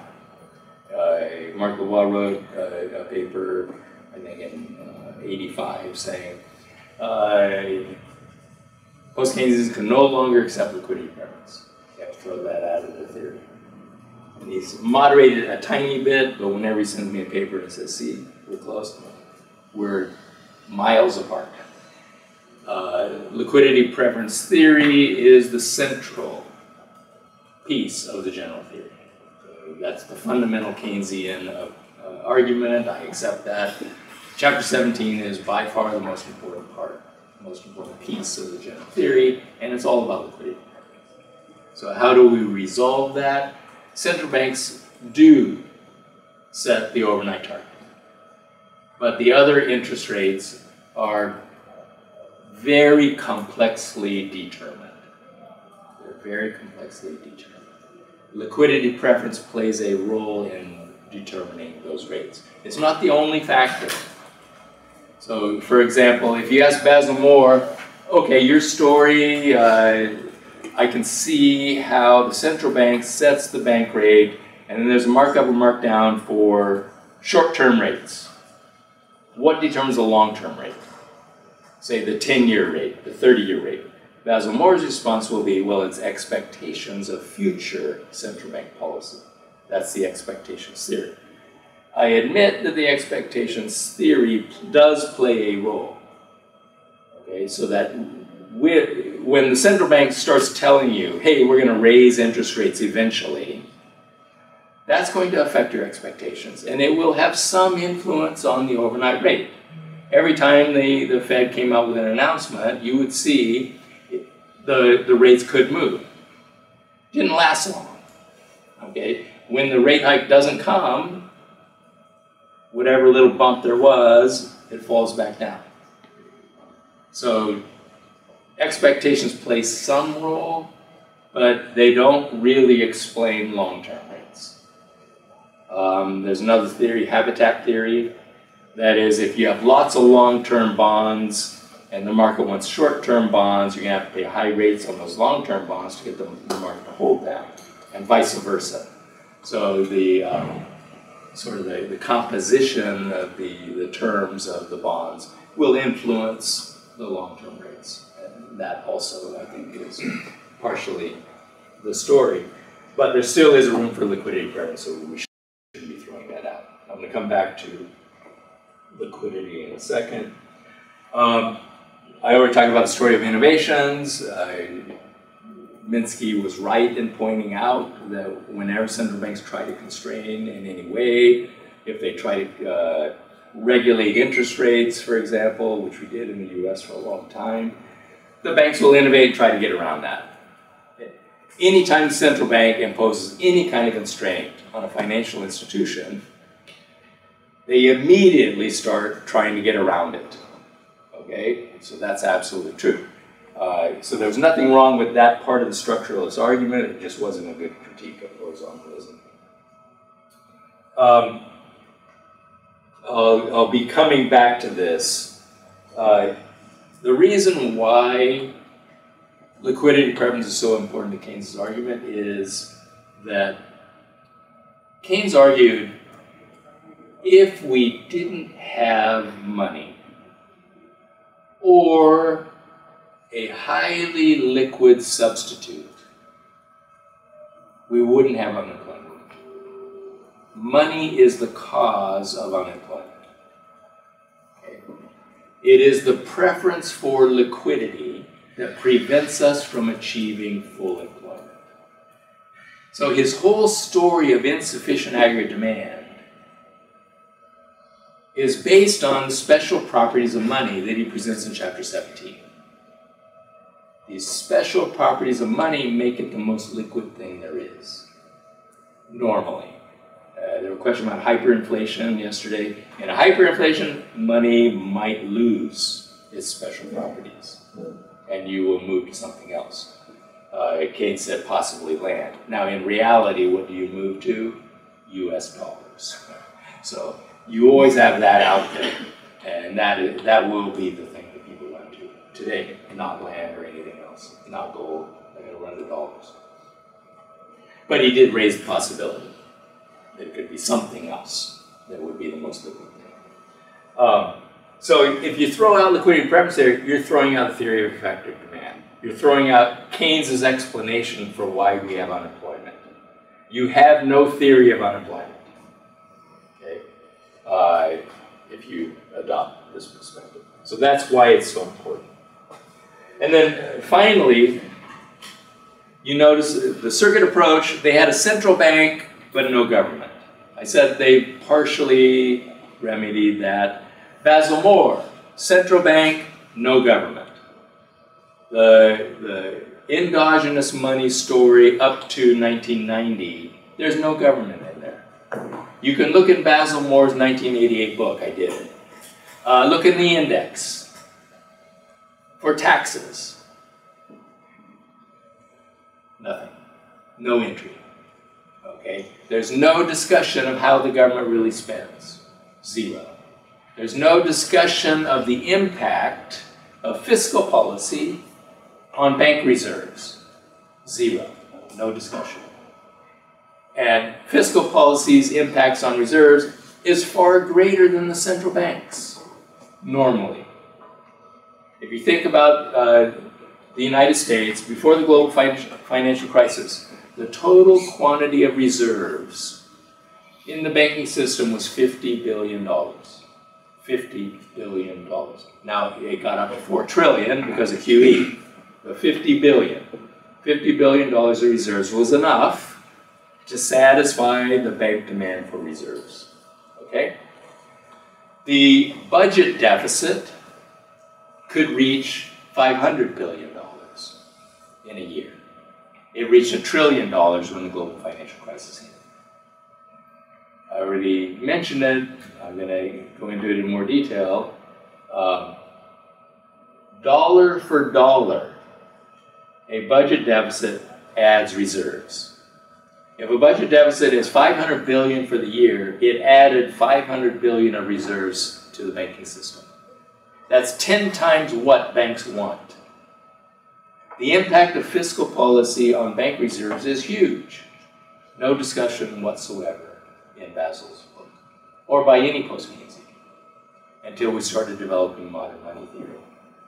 So they're leaving out the most important actor in the economy and the monetary system, which is actually the Treasury, not the central bank. Uh, the central bank is the agent of the Treasury. Um, so it's going to go through the central bank, but it's not their policy. They're just doing what the Treasury tells them to do. It was completely left out of post-Keynesian um, thought and pretty much left out of all uh, orthodoxy, the impacts of that on the monetary system. The textbooks always, you know, they have a chapter, here's monetary policy, here's fiscal policy, no link between the two whatsoever. There's never any link, they're completely separate conceptually. When they talk about the government spending, they never told you how the government spends. They said the government spends. Okay. Where did the government get the money? Well, they say tax revenue, but that can't be logically cannot be true. You can't pay your taxes till the government spends. Okay. Just like you can't save until firms invest. That's the logic of the Keynesian. Okay, uh, I just took a few slides out that aren't essential and they're sort of self-explanatory, so they'll be in a longer version uh, that I guess is available. But I won't do them so that we can try to get done, have time for question and answer. So again, I gave you Sheard to read so you can see that even the mainstream accepts the uh, main points that where the heterodox economists are making. Um, reserves are the liability of the central bank, they can't run out, they can always supply more if they're needed. Um, the banks can't lend those reserves on to anyone other than banks that have accounts at the central bank. Uh, why is he pointing that out? Why am I pointing it out? Because the um, dialogue about quantitative easing was that, well, banks aren't lending to firms. So what we're going to do is we're going to give them reserves so they can make the loans. They can lend on the reserves to firms. Well, they can't do that. They can only lend reserves to other banks. Okay? And other banks didn't want to borrow the reserves. So there's nothing they could do with them. They just sit there with reserves. Okay? It's not going to stimulate any lending. The only thing that quantitative easing did was it slightly reduced the profitability of banks. That's what it does. Because you're taking government bonds that maybe earn 4% interest or more, taking those off their balance sheet, giving them reserves, they were earning 25 basis points, 0.25. Okay, so they lost revenue. That's all that quantitative easing did. There's no reason to believe that would stimulate the economy, and it doesn't. Um, can reserves get out of the banking system? Uh, no, except with one caveat. The only way the reserves can get out of the banking system is if you withdraw cash. That's the only way that bank reserves uh, are reduced. Otherwise, they stay in the banking system. So that's why we still have about three trillion, I think it is, in the uh, U.S. banking system. They can't get out. They can't lend them to anyone other than other banks, so they can't get out. What happens if banks have more reserves than they want? Well, first they offer them in the overnight market, but eventually you're going to push the overnight rate down to uh, what we'll call the support rate, and I'll come back to that in a second. Uh, the U.S. before the crisis never had a support rate. So what would happen with excess reserves is you drove the interest rate to zero. That's where it would go. Okay. In countries that had a support rate, it would only fall to the support rate. What if banks are short reserves? Uh, well, they can't manufacture them themselves, so if they're short reserves, they have to first go to the uh, overnight market. If other banks don't have reserves to lend them, then they have to go to the central bank. That's only place So he deals with all of these questions, and um, that paper answers them all the same way that I would. There's really no difference of opinion on this. Um, so the way we should view banks is not the way the Orthodox tell the story. Banks sit around, wait for a deposit that creates excess reserves, and they can lend at multiple times the amount of excess reserves they have. That's not the way that it works. What banks actually do is they make loans, and then if they need reserves, they get them afterwards. The loan officers don't even know whether the banks uh, have excess reserves or are short reserves at the time they make the loan. They don't care. Completely irrelevant. It's not their job. Okay? The, the bank will have a reserve officer who makes sure that uh, they get the reserves they need to clear. And in the United States, we have a required reserve ratio. Okay? Not all countries have that. But we have that, so they have to have the quantity of reserves that are required. But those are calculated after the fact in a very complicated way. So you don't actually have to be meeting the required reserve ratio when you're making the loans. It's calculated about six weeks later. Okay? And so what you do, you do the calculation, you find out you're short, you have two days to get enough reserves to raise your average up to what was. That's what they do. So a reserve officer does that for them. Um, Almost all central banks operate with an explicit overnight rate target, supply reserves on demand, and make sure they get it. Providing more reserves than they want will not increase bank lending. Okay? And supplying fewer than uh, banks want will just cause the central bank to miss its target. So there's no sense in. The heterodox view of the deposit multiplier is that it's a myth. That's not the way the things work. Uh, Paul Krugman still believes, we, we've had an argument with them in uh, his column, and uh, the commentators will jump all over him, telling he doesn't have the slightest idea what he's talking about, which is true. He has no idea. He still believes in the deposit multiplier uh, notion, but to be fair, that's not his area of expertise. Does trade theory. Maybe he's good at trade theory, I have no idea. He's terrible at macroeconomics. He doesn't understand uh, much of anything about it. And he definitely doesn't understand how banks work. Um, so let me skip all that. Uh, when a bank accepts a borrower's IOU, it creates a demand deposit. So that's how loans are made. Uh, it's not through any deposit multiplier, it's through a keystroke. Uh, there's no raw material that's required. They don't need reserves to make loans. Reserves are not the raw material that allows you to produce loans. It's just a keystroke, a credit to someone's banking account.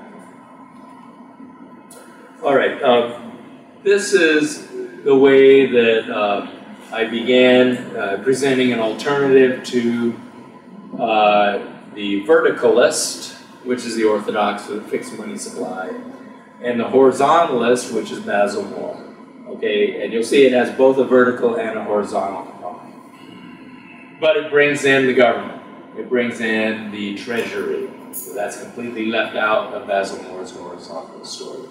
So just quickly, when the treasury spend, HPM stands for high powered money. Okay, this is what Minsky always used, high powered money, so it's the way that I learned it, instead of calling it the monetary base, which is the way most people learn it, I suppose.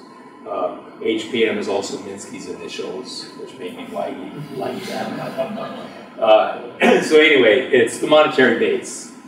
That is reserves plus cash. Okay, cash is completely determined by the public. You can always get more cash if you want to go to the ATM machine. So that's completely uh, so supplied completely at the demand of the public. All right. Um, treasury spending leads to credits to banks' reserves. Okay, so that's why there's an arrow coming in. That is a supply of reserves. And as I was saying, usually that will be far more important than the supply of reserves that come from the Fed. The Fed supplies reserves in open market operations and at the discount window. But far more reserves are supplied by Treasury spending than by Fed lending or open market purchases in normal times. Quantitative easing was huge. Until QE, Fed never did things like that. So Basil Moore focuses only on this one, but far more reserves come this way into the system. Okay? High powered money gets out of the system when you pay taxes. When you pay taxes, your bank's reserves are debited, dollar for dollar. So if the flow in is bigger than the flow out, if government spending is bigger than taxes, you net add reserves to the banking system. Okay? That's actually where most reserves come from, from budget deficits, because most governments run budget deficits. That's how the majority of the reserves get into the system. Okay, in addition, they can come from the central bank. So we have an arrow coming in that way. That's the horizontal part. This is the vertical part. So it's a different kind of vertical. It's not a vertical money supply like in the orthodox diagram, but it is a vertical injection into the system. The other way that high-powered money gets out of the system is in through is through bond sales. The bond sales are by the Treasury and by the central bank. Now, of course, the central bank can only sell bonds that it bought. It can't manufacture bonds, treasury bonds. Okay? So, if the central bank has bought treasury bonds in an open market operation, if they can sell them in an open market operation and drain reserves. But really, it's only draining reserves it put in when it bought the bonds, right? Because central banks don't create treasury bonds. I, I do need to put a footnote here. There are some central banks that sell their own bonds, and that it typically occurs if you have a government that doesn't run budget deficits. Okay? If you have a government that doesn't run budget deficits, uh, then you don't have a supply of bonds to the system. The system likes to have government bonds, and so the central bank will sell them. Uh, bank, the Bank of China, because the government, national government of China typically runs a budget surplus. The Bank of China supplies the bonds that the system wants. Okay, so that's a little footnote. Doesn't apply to the United States, to the UK, to Japan, you know, to most developed capitalist countries where the governments run budget deficits. All right. Now I said there was one contribution by modern money theory that was new, where you, you do not find it until modern money theory. Every other idea that we have that is comprised of modern money theory, I think you can find it. Uh, someone else already expressed it somewhere. A lot of the ideas you can find expressed 200 years ago, so they're definitely not new. They're very old ideas. Uh, the um, the, the views of uh, government spending, those are very old ideas. Okay? But there is one that I don't think you will find anyone ever expressed it before. And that is Warren Mosler, who was a, a hedge fund manager and he dealt in government bonds. And he was sitting there, I, I think in the early 80s, and he was saying, you know, when the um, central bank, the Fed, sells bonds, we call that a monetary policy operation. When the Treasury sells bonds, we call that borrowing. And he thought to himself, but they have exactly the same impact. There is no difference in the functional impact of the central bank selling bonds or the Treasury selling bonds. What's the functional impact? They drain reserves out of the banking system. So he said both of those really are monetary policy. Whether the Treasury sells bonds or the Fed sells bonds, it's monetary policy. It has nothing to do with borrowing. Selling bonds is not a borrowing operation. It is a monetary policy operation designed to drain reserves. Okay. So he called it IRMA, I-R-M-A, an interest rate maintenance account. Government bonds are an interest rate maintenance account. Why do you sell them?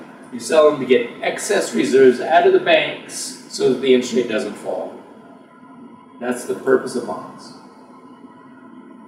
No one had ever put it this way before. When, when I first heard Warren say it, you know, we were agreeing on lots of things, and then he said that. I said, wait a minute. Okay, that's bizarre. It's not a borrowing operation at all. It's an interest rate maintenance operation. But I knew the uh, accounting, the T accounts, and I knew that what he said was right because I had done it as a student. Uh, I had a, a, particular teacher, a guy named John Ranlett, who insisted we spend hour after hour after hour doing the accounting of everything you could possibly do accounting for. And we had done the accounting of that, and it was true. That that's what happens when the Treasury sells bonds. Bank reserves go down. So I knew that that was right. And uh, I think that is new. People, I mean, Ranlett knew, of course, that selling bonds was removing reserves, but he still called bond sales borrowing when the Treasury did it. But it's not borrowing at all. Treasuries don't borrow their own currency. They can't do it. Now, your government can issue foreign currency denominated bonds, and we call that borrowing. Okay? Brazil cannot create dollars. So if your government issues bonds denominated in dollars, I'm perfectly fine with calling that borrowing. Okay, it's not your currency. But you can't borrow your own currency. That's nonsensical. That would be like you writing an IOU to your neighbor and then trying to borrow it from them. Would that make any sense? Borrowing your own IOU. It's nonsensical. Okay? You actually can't show me a balance sheet that makes any sense where you're borrowing your own IOUs. So you can't show a treasury balance sheet that makes any sense where the treasury is borrowing its own currency. That's not what is going on. They can sell bonds for their own currency, but it's not borrowing. They had to put the currency there first. The reserves have to get into the banks before they can buy the bonds. There's no other way for them to buy them because the only thing that is accepted here when the Fed or Treasury sells bonds, the only thing they accept is reserves. That's it. It's they debit your reserves. Okay, so the reserves have to get in there first. The spending already occurred to get the reserves in the system, or the lending. There had to be spending or lending for the banks to get the reserves they use to buy the bonds. So you can't call that a borrowing operation. All it does is change their portfolio. Instead of reserves, they have bonds. Okay? Then there's another uh, continuing horizontal part. Banks create M1, M2 when they make loans or when they buy other kinds of financial assets. We can call that a leveraging. Okay. Leveraging isn't the same thing as a money multiplier.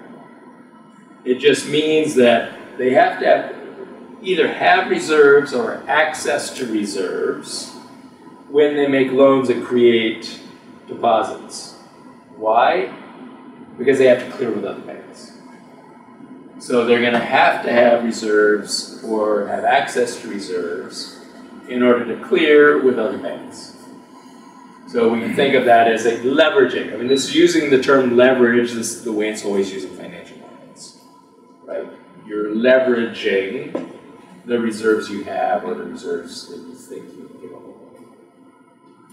Um, yeah, that pretty much is all of that. Yeah, go ahead. Um, I'm not sure I get it right, but it seems like when the government or whatever the or Treasury, when they're buying back bonds, doesn't that mean some sort of such an idea of uh, meaning of, money? Because they're actually acting on. Well, if they didn't care what the interest rate impact was. Okay? They are doing it, that's why it's called IRMA, interest rate maintenance account. They are doing it because they do care what the interest rate is. So they are endogenously reacting to the impacts of fiscal policy on interest rates. Okay. However, the interest rate target itself, you say, is exogenous in the control sense. Is it exogenous in the theoretical sense? No. Okay, why? Because the interest rates are set with respect to goals for the economy, right? Generally, anti-inflation.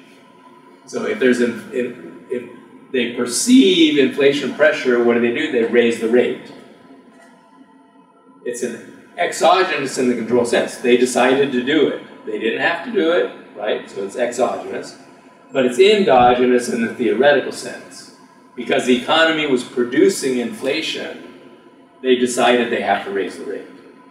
So it's endogenous in the theoretical sense. That's why it's important to make that distinction. You have to be clear the way you're using the term. Or using it in the control sense, usually that is what people are doing. Or are you talking about the theoretical sense?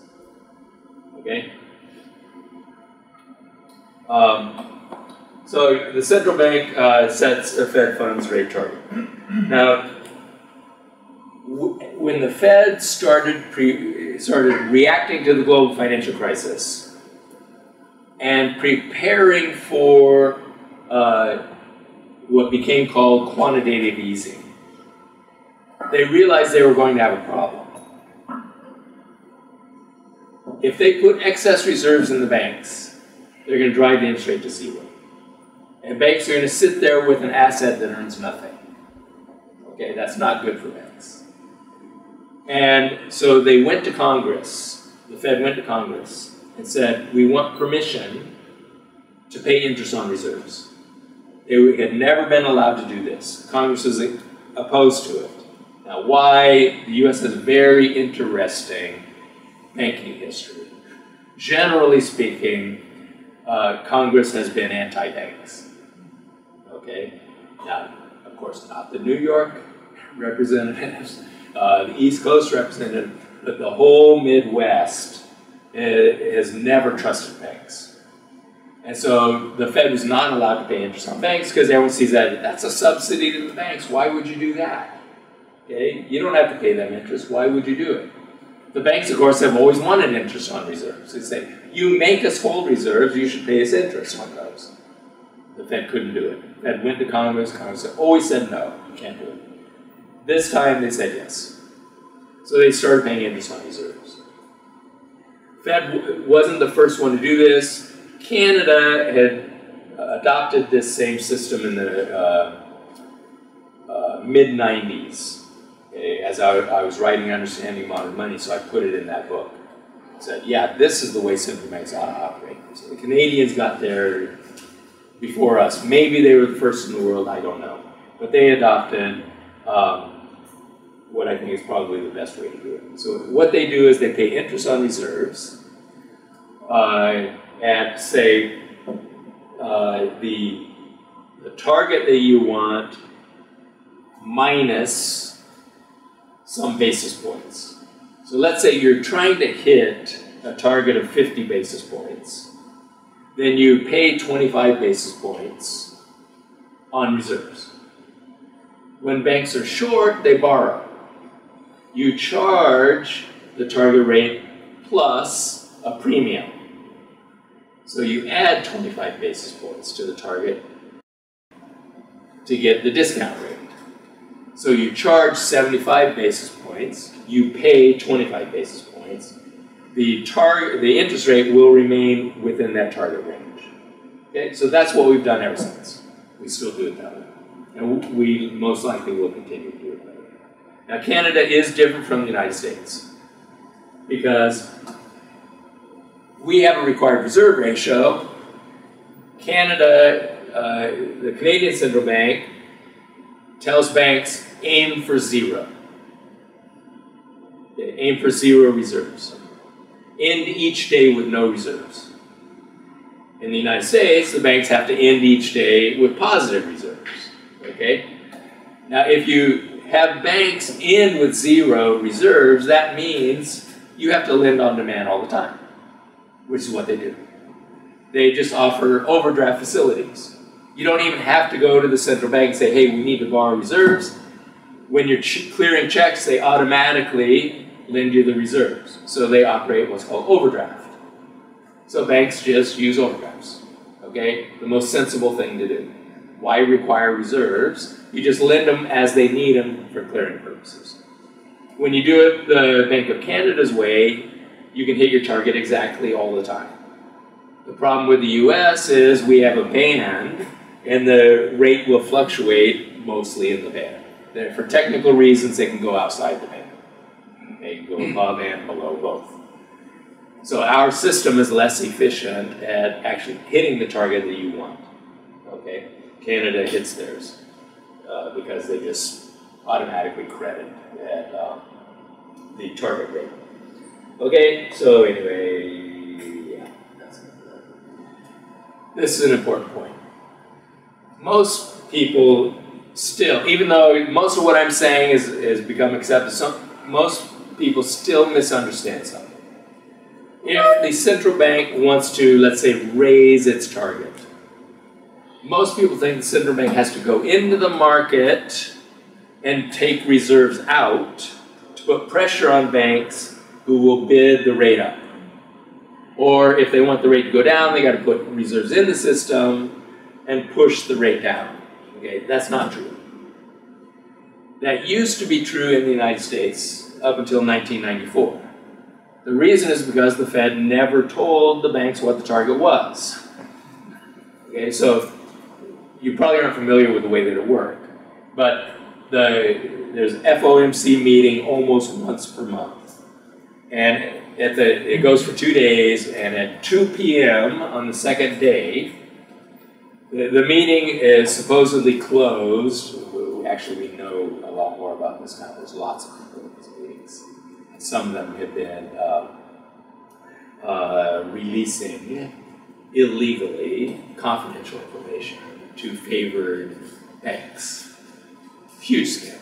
But anyway, the idea was, you know, it's a closed meeting, nobody knows what's going on there. 2 p.m., uh, someone is designated from the uh, FOMC or their staff to pick up the phone. Next door, all the reporters are sitting there, and they read a statement. And the statement would say something like, you know, given the uh, outlook for inflation and unemployment um, and economic growth, the Fed has decided to slightly increase pressure on money markets.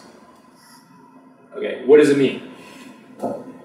So this, this is all the reporters know, and so they all busily write it up, and it goes into into the press. And then the banks have to interpret what does it mean. Increase interest rates by how much? Don't know.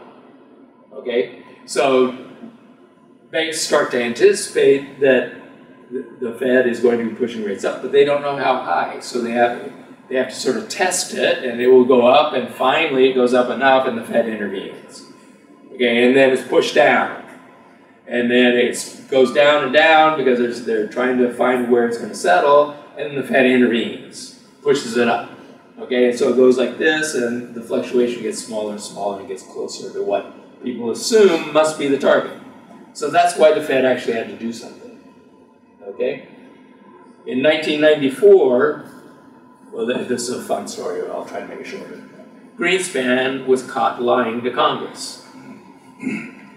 Uh, there was a particular uh, representative from Texas, Henry Gonzalez, who was the head of the um, uh, uh, Congressional um, Banking Committee, the House uh, Banking Committee, and he had heard uh, two rumors. One, information was getting out to favored market participants, and two, that um, the uh, Fed taped all of the meetings. Okay, now we had Watergate, out Pre- President Nixon had taped all the meetings. 1994, there was this rumor that the Fed had taped all the meetings. So Greenspan was called before Congress, Gonzalez is grilling him and asking him, uh, do you have recordings of all the meetings? Greenspan says no. Greenspan goes back, we know all this now because we have the transcripts, he, he calls up all of the FOMC, they get a conference phone call, and he tells them, uh, I didn't quite tell the truth, and each one of you is going to have to decide whether you, because you're all going to be called in, each one of you will have to decide for yourself if you're going to tell the truth. Lying to Congress, you can go to prison. Okay?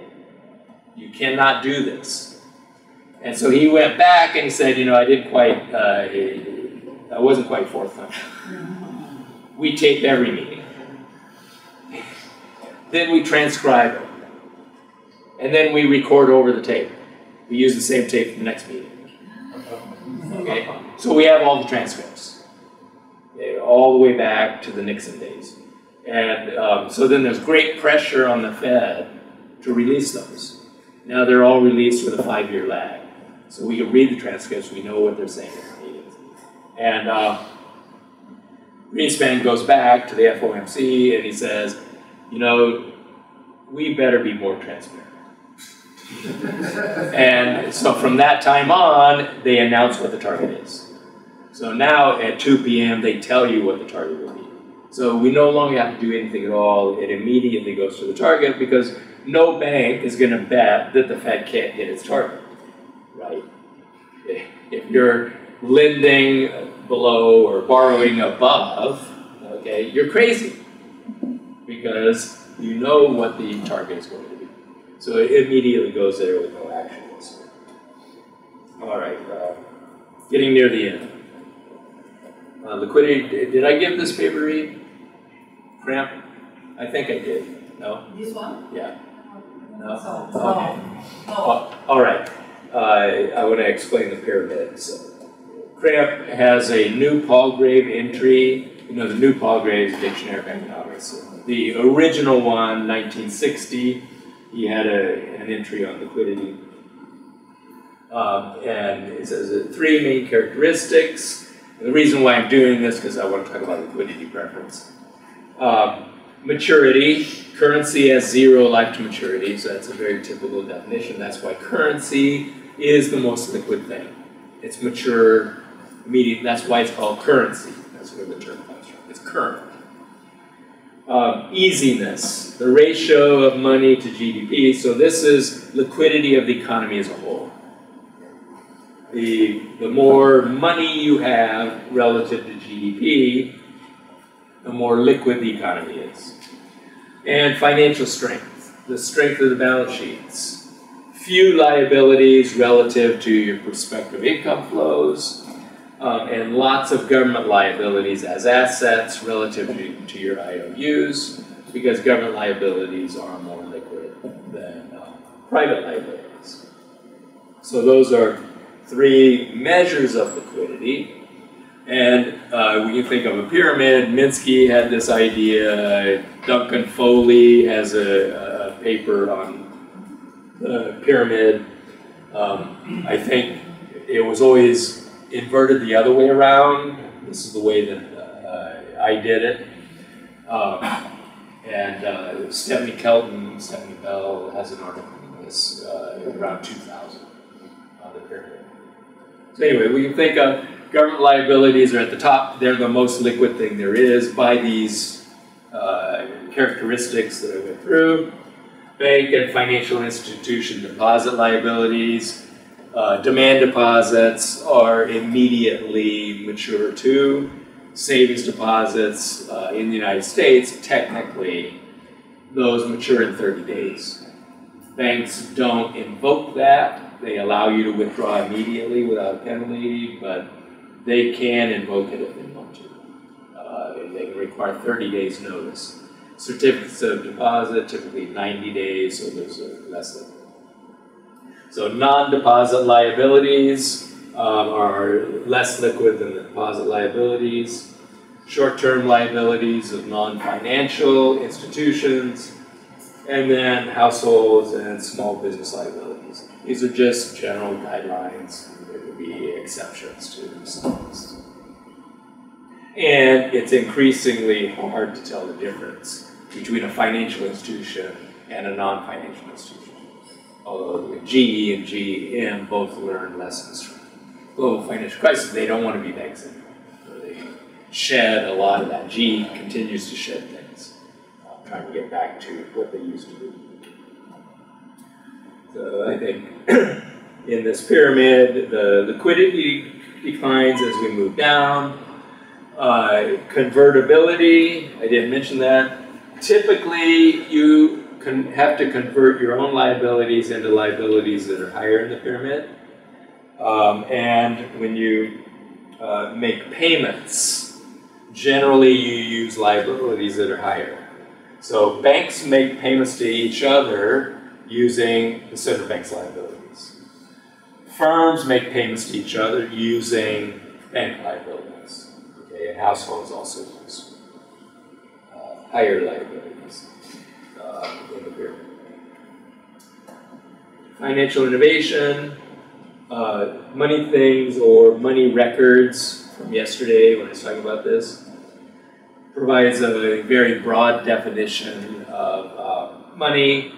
Anyone can create money, Minsky says. Okay, well, that's very, very broad. If you can write IOU and get someone to accept it, Minsky would call that money. So it's a very broad definition. Most economists focus on a narrow definition. Orthodox and a lot of post Keynesians argue that banks can create money, but other kinds of financial institutions cannot. So this has become a big issue. Uh, a, a, lot of people after the global financial crisis were arguing that um, the rise of shadow banks, so people finally recognized that that had happened. They argue that those institutions cannot create money. Only banks can. Okay? And this will not hold up. You can use shadow bank liabilities for virtually anything that you can use uh, chartered bank liabilities for. The shadow banks can create money that you can use as a means of payment, that you can use as a exchange. Okay? So, um, we shouldn't make a sharp distinction between these. Uh, there are distinctions, but it's not that. They can create money liabilities, just as the banks can. Now, the difference is they don't have direct access to the Fed. So when things go bad, okay, they can't turn to the Fed. Chartered banks can. So in a crisis, it does make a difference in how things are handled. In the US, it's obvious. The Fed has the authority to lend reserves to any chartered bank. Okay? Basically, under any condition whatsoever, they can lend to a chartered bank. So there's no problem dealing with the crisis for chartered banks. It becomes a lot more iffy when it is the shadow banks that are in trouble, whether the Fed can lend to them. Okay, the Fed had to invoke special conditions to lend to them, and probably most of their lending actually was illegal. They actually did not have the authority to do it. Uh, so there are distinctions, but it's not in their ability to create. Okay, conclusion, no sharp dividing line between a money thing and a debt thing. Okay, this is my view, this is the modern money view. This is not shared by all heterodox people. It's not shared by Graziani, for example. He doesn't agree with this. Uh, for him, banks are special in creating money. No, no one else can create money. He would not agree that a money market mutual fund, which is not a bank, can create money. Money market mutual funds did not have access to them.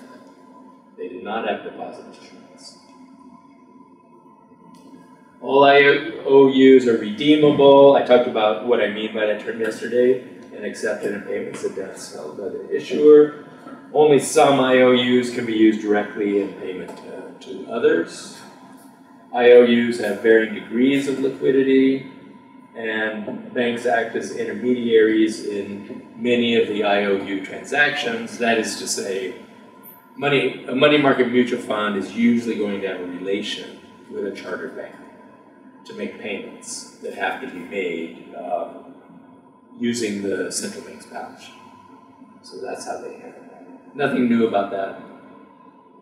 If you go back to uh, England, before the Bank of England, the uh, country banks used the city banks, London banks, to make payments for each other. And then when the central bank came in, the country banks didn't need to have accounts at the uh, Bank of England. They had accounts at London banks. The London banks could make the payments, continue to make the payments for them, even using Bank of England liabilities. Uh, and that is still done in the U.S. too. So banks down in the Midwest will have accounts at um, Chase and use Chase to make some payments. Yeah, that was it. The appendix has balance sheets, so it has a typical bank balance sheet, typical central bank balance sheet. Then it shows you how you do the accounting when the bank makes a loan to buy a car, and uh, oh, when the government spends, how you do the balance sheets. So I'll let you do that. And just take questions.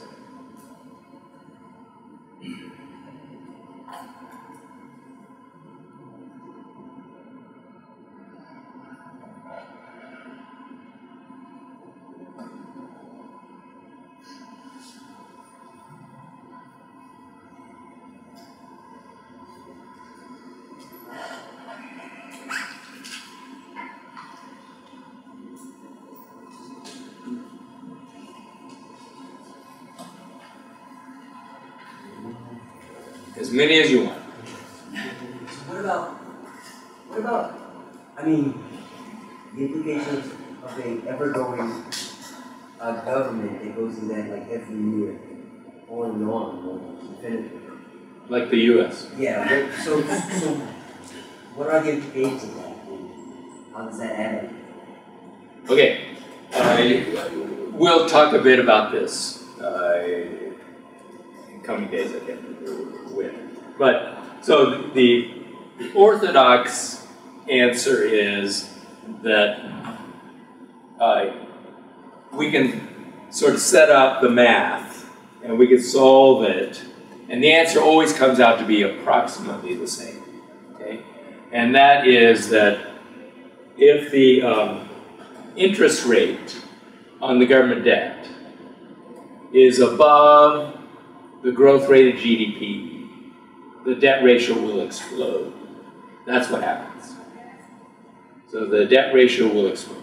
If the interest rate on government debt is below the growth rate, it will converge. It won't explode. Okay? So it will converge to some uh, less than infinite number right? Uh, and then, it, then the argument is, therefore, well, you, you couldn't have the debt ratio exploding to infinity. You can't do that. So that is why they say that it's unsustainable. Okay? So if you look at most uh, countries uh, today, well, the growth rates are pretty miserably low okay, typically 2%, something like that. Now, the developing world, I know, uh, has exceptions to this, but if you look at the developed world, 2, 2.5% is about what we grow at. The, the interest rate is typically higher than that, the interest rate the government is paying on its debt. Therefore, it's unsustainable. So that's how they reach that conclusion. It's a, a very simple math exercise. You can read uh, Rogoff and Reinhart, uh, uh, for all the scary stuff. Or in the U.S., Kotlikoff is the best. Uses this to demonstrate that we're on an unsustainable path. So that's the orthodox answer. Um, of course, there are some people who are just, or sort I would just say they're nutty, who just argue you can't run deficits. Now, most orthodox economists don't say anything like that. Say deficits are okay. okay. But it's got to be sustainable. All right? You have to make sure your debt ratio isn't rising over time. Have, you have to eventually reach some limit. What's the limit? Well, Maastricht gives you 60%. Uh, most economists think probably shouldn't go over 100%. Rogoff and Reinhart find somewhere around 90%. You start having crises. Their work is complete garbage, but that's what they find empirically. Complete garbage. Uh, but anyway, so maybe it's some number like 60 to 100%. Probably most Orthodox economists think that it's okay to have a deficit, it's even okay to have a growing debt, as long as you're going to converge to something like 100% or less. If it's going to be higher than that, trouble. Uh, my, my answer is that uh, theoretically, there would be no problem with an infinite debt ratio. Could the government make the interest payments? Of course it can. Okay, I mean, it's sort of absurd, but of course they could. It's keystrokes. If it requires an infinite number of keystrokes, they can supply it. Okay? So, just as a, a technical matter, the government can always make the interest payments. Okay? Now, the whole thing is absurd. It will never go there. It can't possibly go to infinity. Okay? Nothing can. It won't.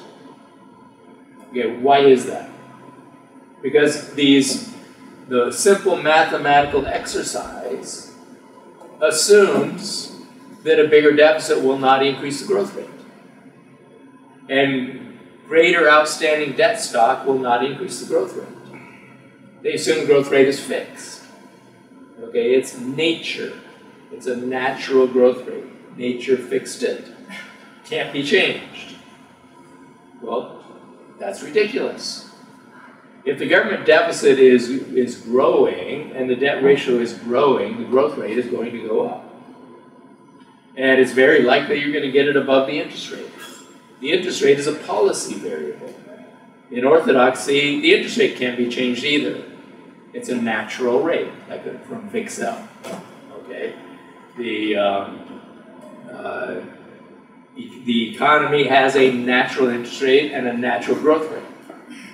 Uh, the interest rate is a policy variable. So another solution, so one is the deficit is probably going to increase the growth rate. The other is the solution is easy. Lower the interest rate. We can lower the target to zero. We know we can, we just did it. Okay? Um, so you can lower the, that's the target rate. Now the government rate will be a bit higher, but we got the government rates, uh, even long-term rates down to just a little bit over 2%. Well, if we can grow at two and a half and you get the interest rate to two, problem solved. You will converge. Okay? Um, government doesn't have to issue long-term bonds. If the government issues 30-day bonds, 30-day bonds track the target rate exactly. Because 30-day bonds are perfect substitutes for reserves. You can, you, can, you can look at it yourself. You look at your own country. The 30-day government rate will be the same as the overnight interest rate target. Okay? So don't issue any long-term bonds. Just issue 30-day bonds and target the interest rate of 1%, and you got 1%. All you have to do is grow faster than 1%, and you converge. The debt ratio converges. Okay, or don't sell bonds at all. Don't issue any interest paying debt. Problem solved. The interest rate zero. Any growth rate that's not negative you will have the uh, interest rate below the growth rate. Okay, so their whole uh, vision is that the government has to borrow. Government doesn't have to borrow. Government does not borrow. The bonds are sold to keep the interest rate up. Okay, if your goal is to get the interest rate down, don't sell bonds. Don't sell them at all. Don't pay interest on reserves. Just credit reserve accounts. Okay? Now reserves are a government debt, but they don't pay any interest. Okay, so then without the interest payment, you, you will converge very quickly. Because what happens when the debt ratio is high is a huge part of government spending is paying interest. Don't pay any interest. Get it down to zero. Okay? And uh, your debt ratio, then if you have any growth, your debt ratio won't converge, it will decline. So the, the solutions are really easy. If you don't want a, an infinite debt ratio. But even if it did go to infinity, you can always pay the interest. So it's sustainable in the uh, mathematical sense. It, they assume the economy doesn't change at all as the deficit increases. It doesn't change the economy at all. That's completely absurd. The bigger the deficit, the uh, uh, greater the effective demand. The greater the quantity of bonds in the economy, the greater the wealth. If the debt ratio is infinite, the non-government sector is infinitely wealthy. You don't think that will change their behavior? You have infinite wealth. Might you consume more? Probably. So it assumes that doesn't happen. Because it assumes that the government debt is not the wealth of the private sector.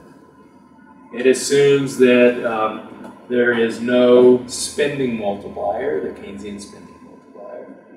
it assumes any dollar spent by the government means a dollar not spent by the private sector. All those are ridiculous assumptions. So it, it will not happen, cannot happen. the debt ratio cannot continue to climb because your growth rate will go up.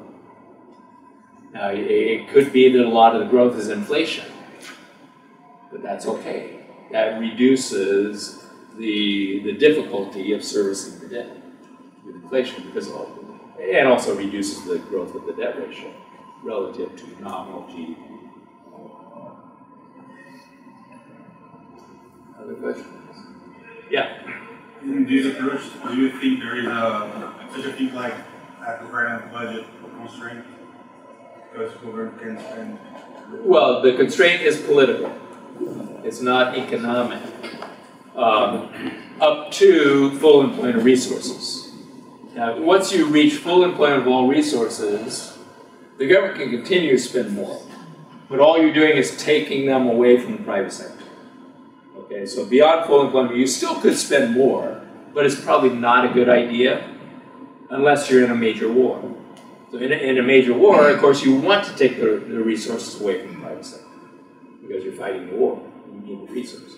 But outside of a war, um, generally, uh, it, it's not a good idea to take the resources away. What you want to do is employ the resources that are not being employed. So, at least up to full employment, the government should be spending more. Beyond full employment, then it depends. Do you really want to take the resources away? If so, yeah, spend more. But uh, whatever spending constraints there are, they're political. They're not economic. It's not a matter of running out of money. Yeah. Um, those new forms of payment, like paying with cell phones, uh, countries in Africa or Asia, is there any impact on the hierarchy of um, debt instruments that you just showed us? No, not really. I mean, the same thing is with a credit card. Mm-hmm. Okay, so the, the credit card is not really your IOU. When you go to the grocery store and you buy groceries using a credit card, they're not accepting your IOU. They're accepting the bank's IOU, the bank that issued that credit card. Okay? Now you owe the bank. Eventually you're gonna have to pay that. But uh, you're not paying the grocery store. So you're not in debt to them. Even with those, um, like paying cell phones, banks are still there. For the net clearing, there's going to be banks involved. Okay, now uh, let's say Apple. Apple can do a lot of the clearing strictly within Apple. If you're huge, or Walmart, they're, they're going to do the same thing. Um, they, a lot of the clearing will be within Walmart. Okay, uh, credits and debits. Yeah, PayPal, same thing. But but when you go across, you know, it's Apple and Walmart. Now they're gonna have a lot of um, clearing because they have claims on each other. This happens with any big bank, right? Chase and Bank of America, they do a lot of clearing just between each other. But eventually, there will be an imbalance, and the net clearing will be with the Fed. So most of the clearing doesn't involve the Fed. Okay, There's lots of this clearing between platforms or whatever you want to call it. Uh, they can be done that way, and then the net clearing ultimately has to be the central bank because they're they really are are when we say issue the currency, really it's the central bank. In all the modern countries, that is where the currency comes from in the form of reserves. So they have to do the net clearing. Someone asked about Bitcoin, a completely different thing. Completely different, because they're, not making any promise to convert it to um, reserves. But anything, if it's denominated in, in dollars or whatever country we're talking about, it doesn't really matter whether it's um, uh, iPhone, the credit card, the bank check. Uh, ultimately, the thing at the, the top of the pyramid is the civic bank. But, uh, go more Yeah. But somehow for the, the banking business, that changes things. Because uh, you have other layers of, uh, of uh, Yes. corporations doing the business as well. Yeah. And they are claiming that they can do that uh, on a very low cost, and they compete in a more efficient way with banks, so Yeah, that- that's it- only changing absolutely true. They, innovation, banks do a lot of innovation, but there's been a lot of innovation that hurts banks. And so, you know, who, who is getting ahead? Uh, the tables have changed many times over the past 40 years. So in the, um, uh, a lot of the innovations that um, you're familiar with and that, that sort of led to the, the crisis were outside the commercial banks. And the, the investment banks were taking advantages and taking business away from commercial banks.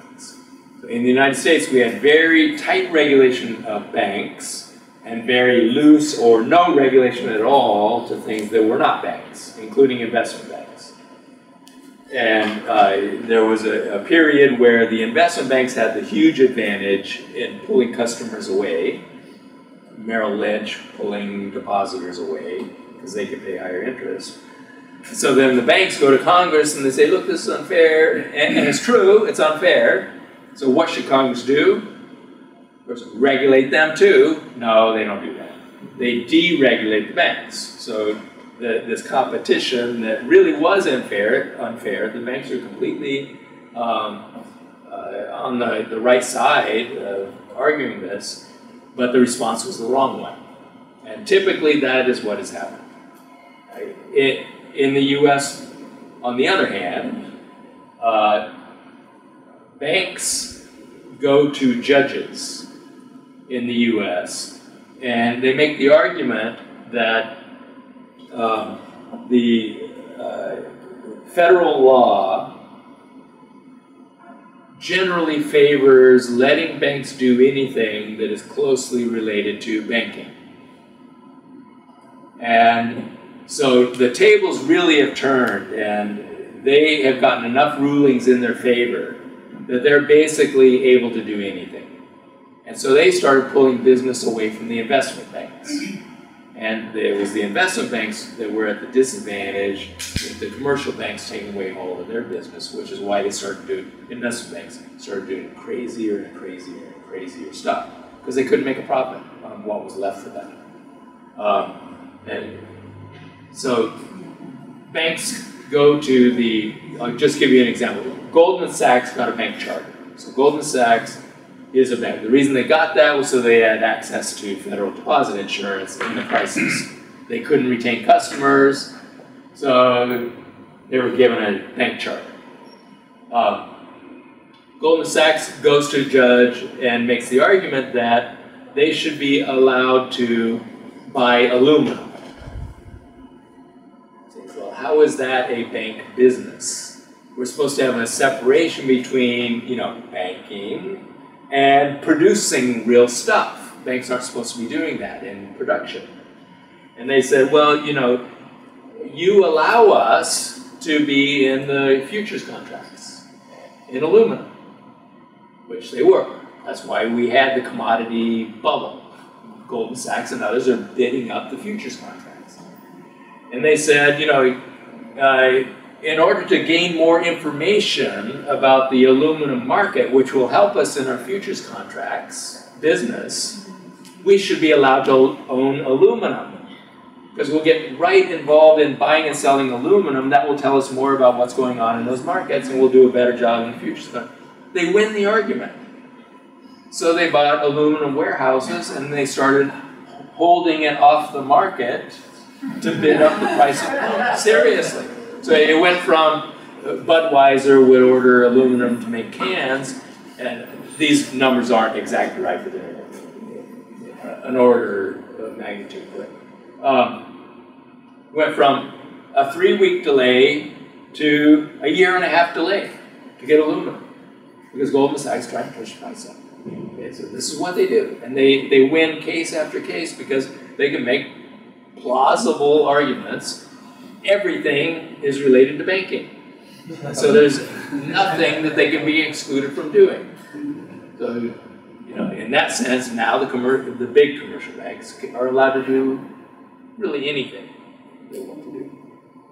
So it's a huge problem in, in trying to keep a dividing line for regulation. You know, the, the, the other would have been just regulate everywhere. If you do this, we're going to regulate you as if you were a bank, regardless of what you are, whether you have a charter or not. But that's typically not what we do. It's what Minsky always advocated. You regulate by function. If you're going to do it, you're a bank, rather than what we used to used to say is that um, um, if you want to be a bank, you can't do that. And to be a bank, you can do this and this, and you can't do that. That's typically what we do. Any other questions? Okay. Oh, Uh, you talked about it, but uh, could you elaborate more about uh, the consistency between exogenous interest rates and liquidity preference here? Okay, the, um, the overnight rate target is exogenous in the control sense. Okay, we all agree on that now. Yes, they said it, they announced what it will be, and they said it, okay? No question about that. The, the question is about other interest rates. Should we view those as being exogenous or not? And- my, and if they're exogenous, if they're really determined by the central bank, what role does liquidity preference play? And that's why the horizontal said it doesn't play any role. Throw it away. We don't need it. Okay, what I'm saying is that uh, liquidity preference theory is not a theory of the interest rate. Okay? And it, it doesn't really tell us anything about the interest rate target. It has nothing to do with that. It's uh, about the um, total return you expect to get from holding any kind of asset. That total return is uh, the uh, is what determines the interest rate. It's the the yield minus the carrying cost plus the liquidity uh, premium. So that is your total return, and that is what liquidity preference is all about. Okay, it's determining the L part of the Q minus C plus L liquidity preference determines that. So it goes into determining the return from any kind of asset you hold through time. From financial assets to um, antique cars. It goes into determining the value of antique cars too. It's not the only thing that de- determines their value, because there's also the yield and the carrying cost. Right? And money is peculiar, Keynes said, because its total return is from liquidity. Okay. Cash doesn't have any yield, and its carrying cost is very low. So it return mostly comes from that. That's why it's peculiar. Talk about an um, antique car, the carrying cost is really high. Right? Uh, the the yield could be high too, but the carrying cost is really high and they're not that liquid. Yes, you can sell them, but you're uncertain what price, and it can take a while to, to match the buyer and seller, so they're not that liquid. So their uh, uh, L isn't much, C is really high.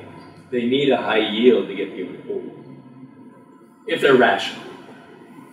Probably most antique collector car collectors are not all that rational. They, they love the cars if they make money, good, but viewing uh, viewing the decision about holding assets as being a rational, not a rational expectation, but rational, which it may not always be.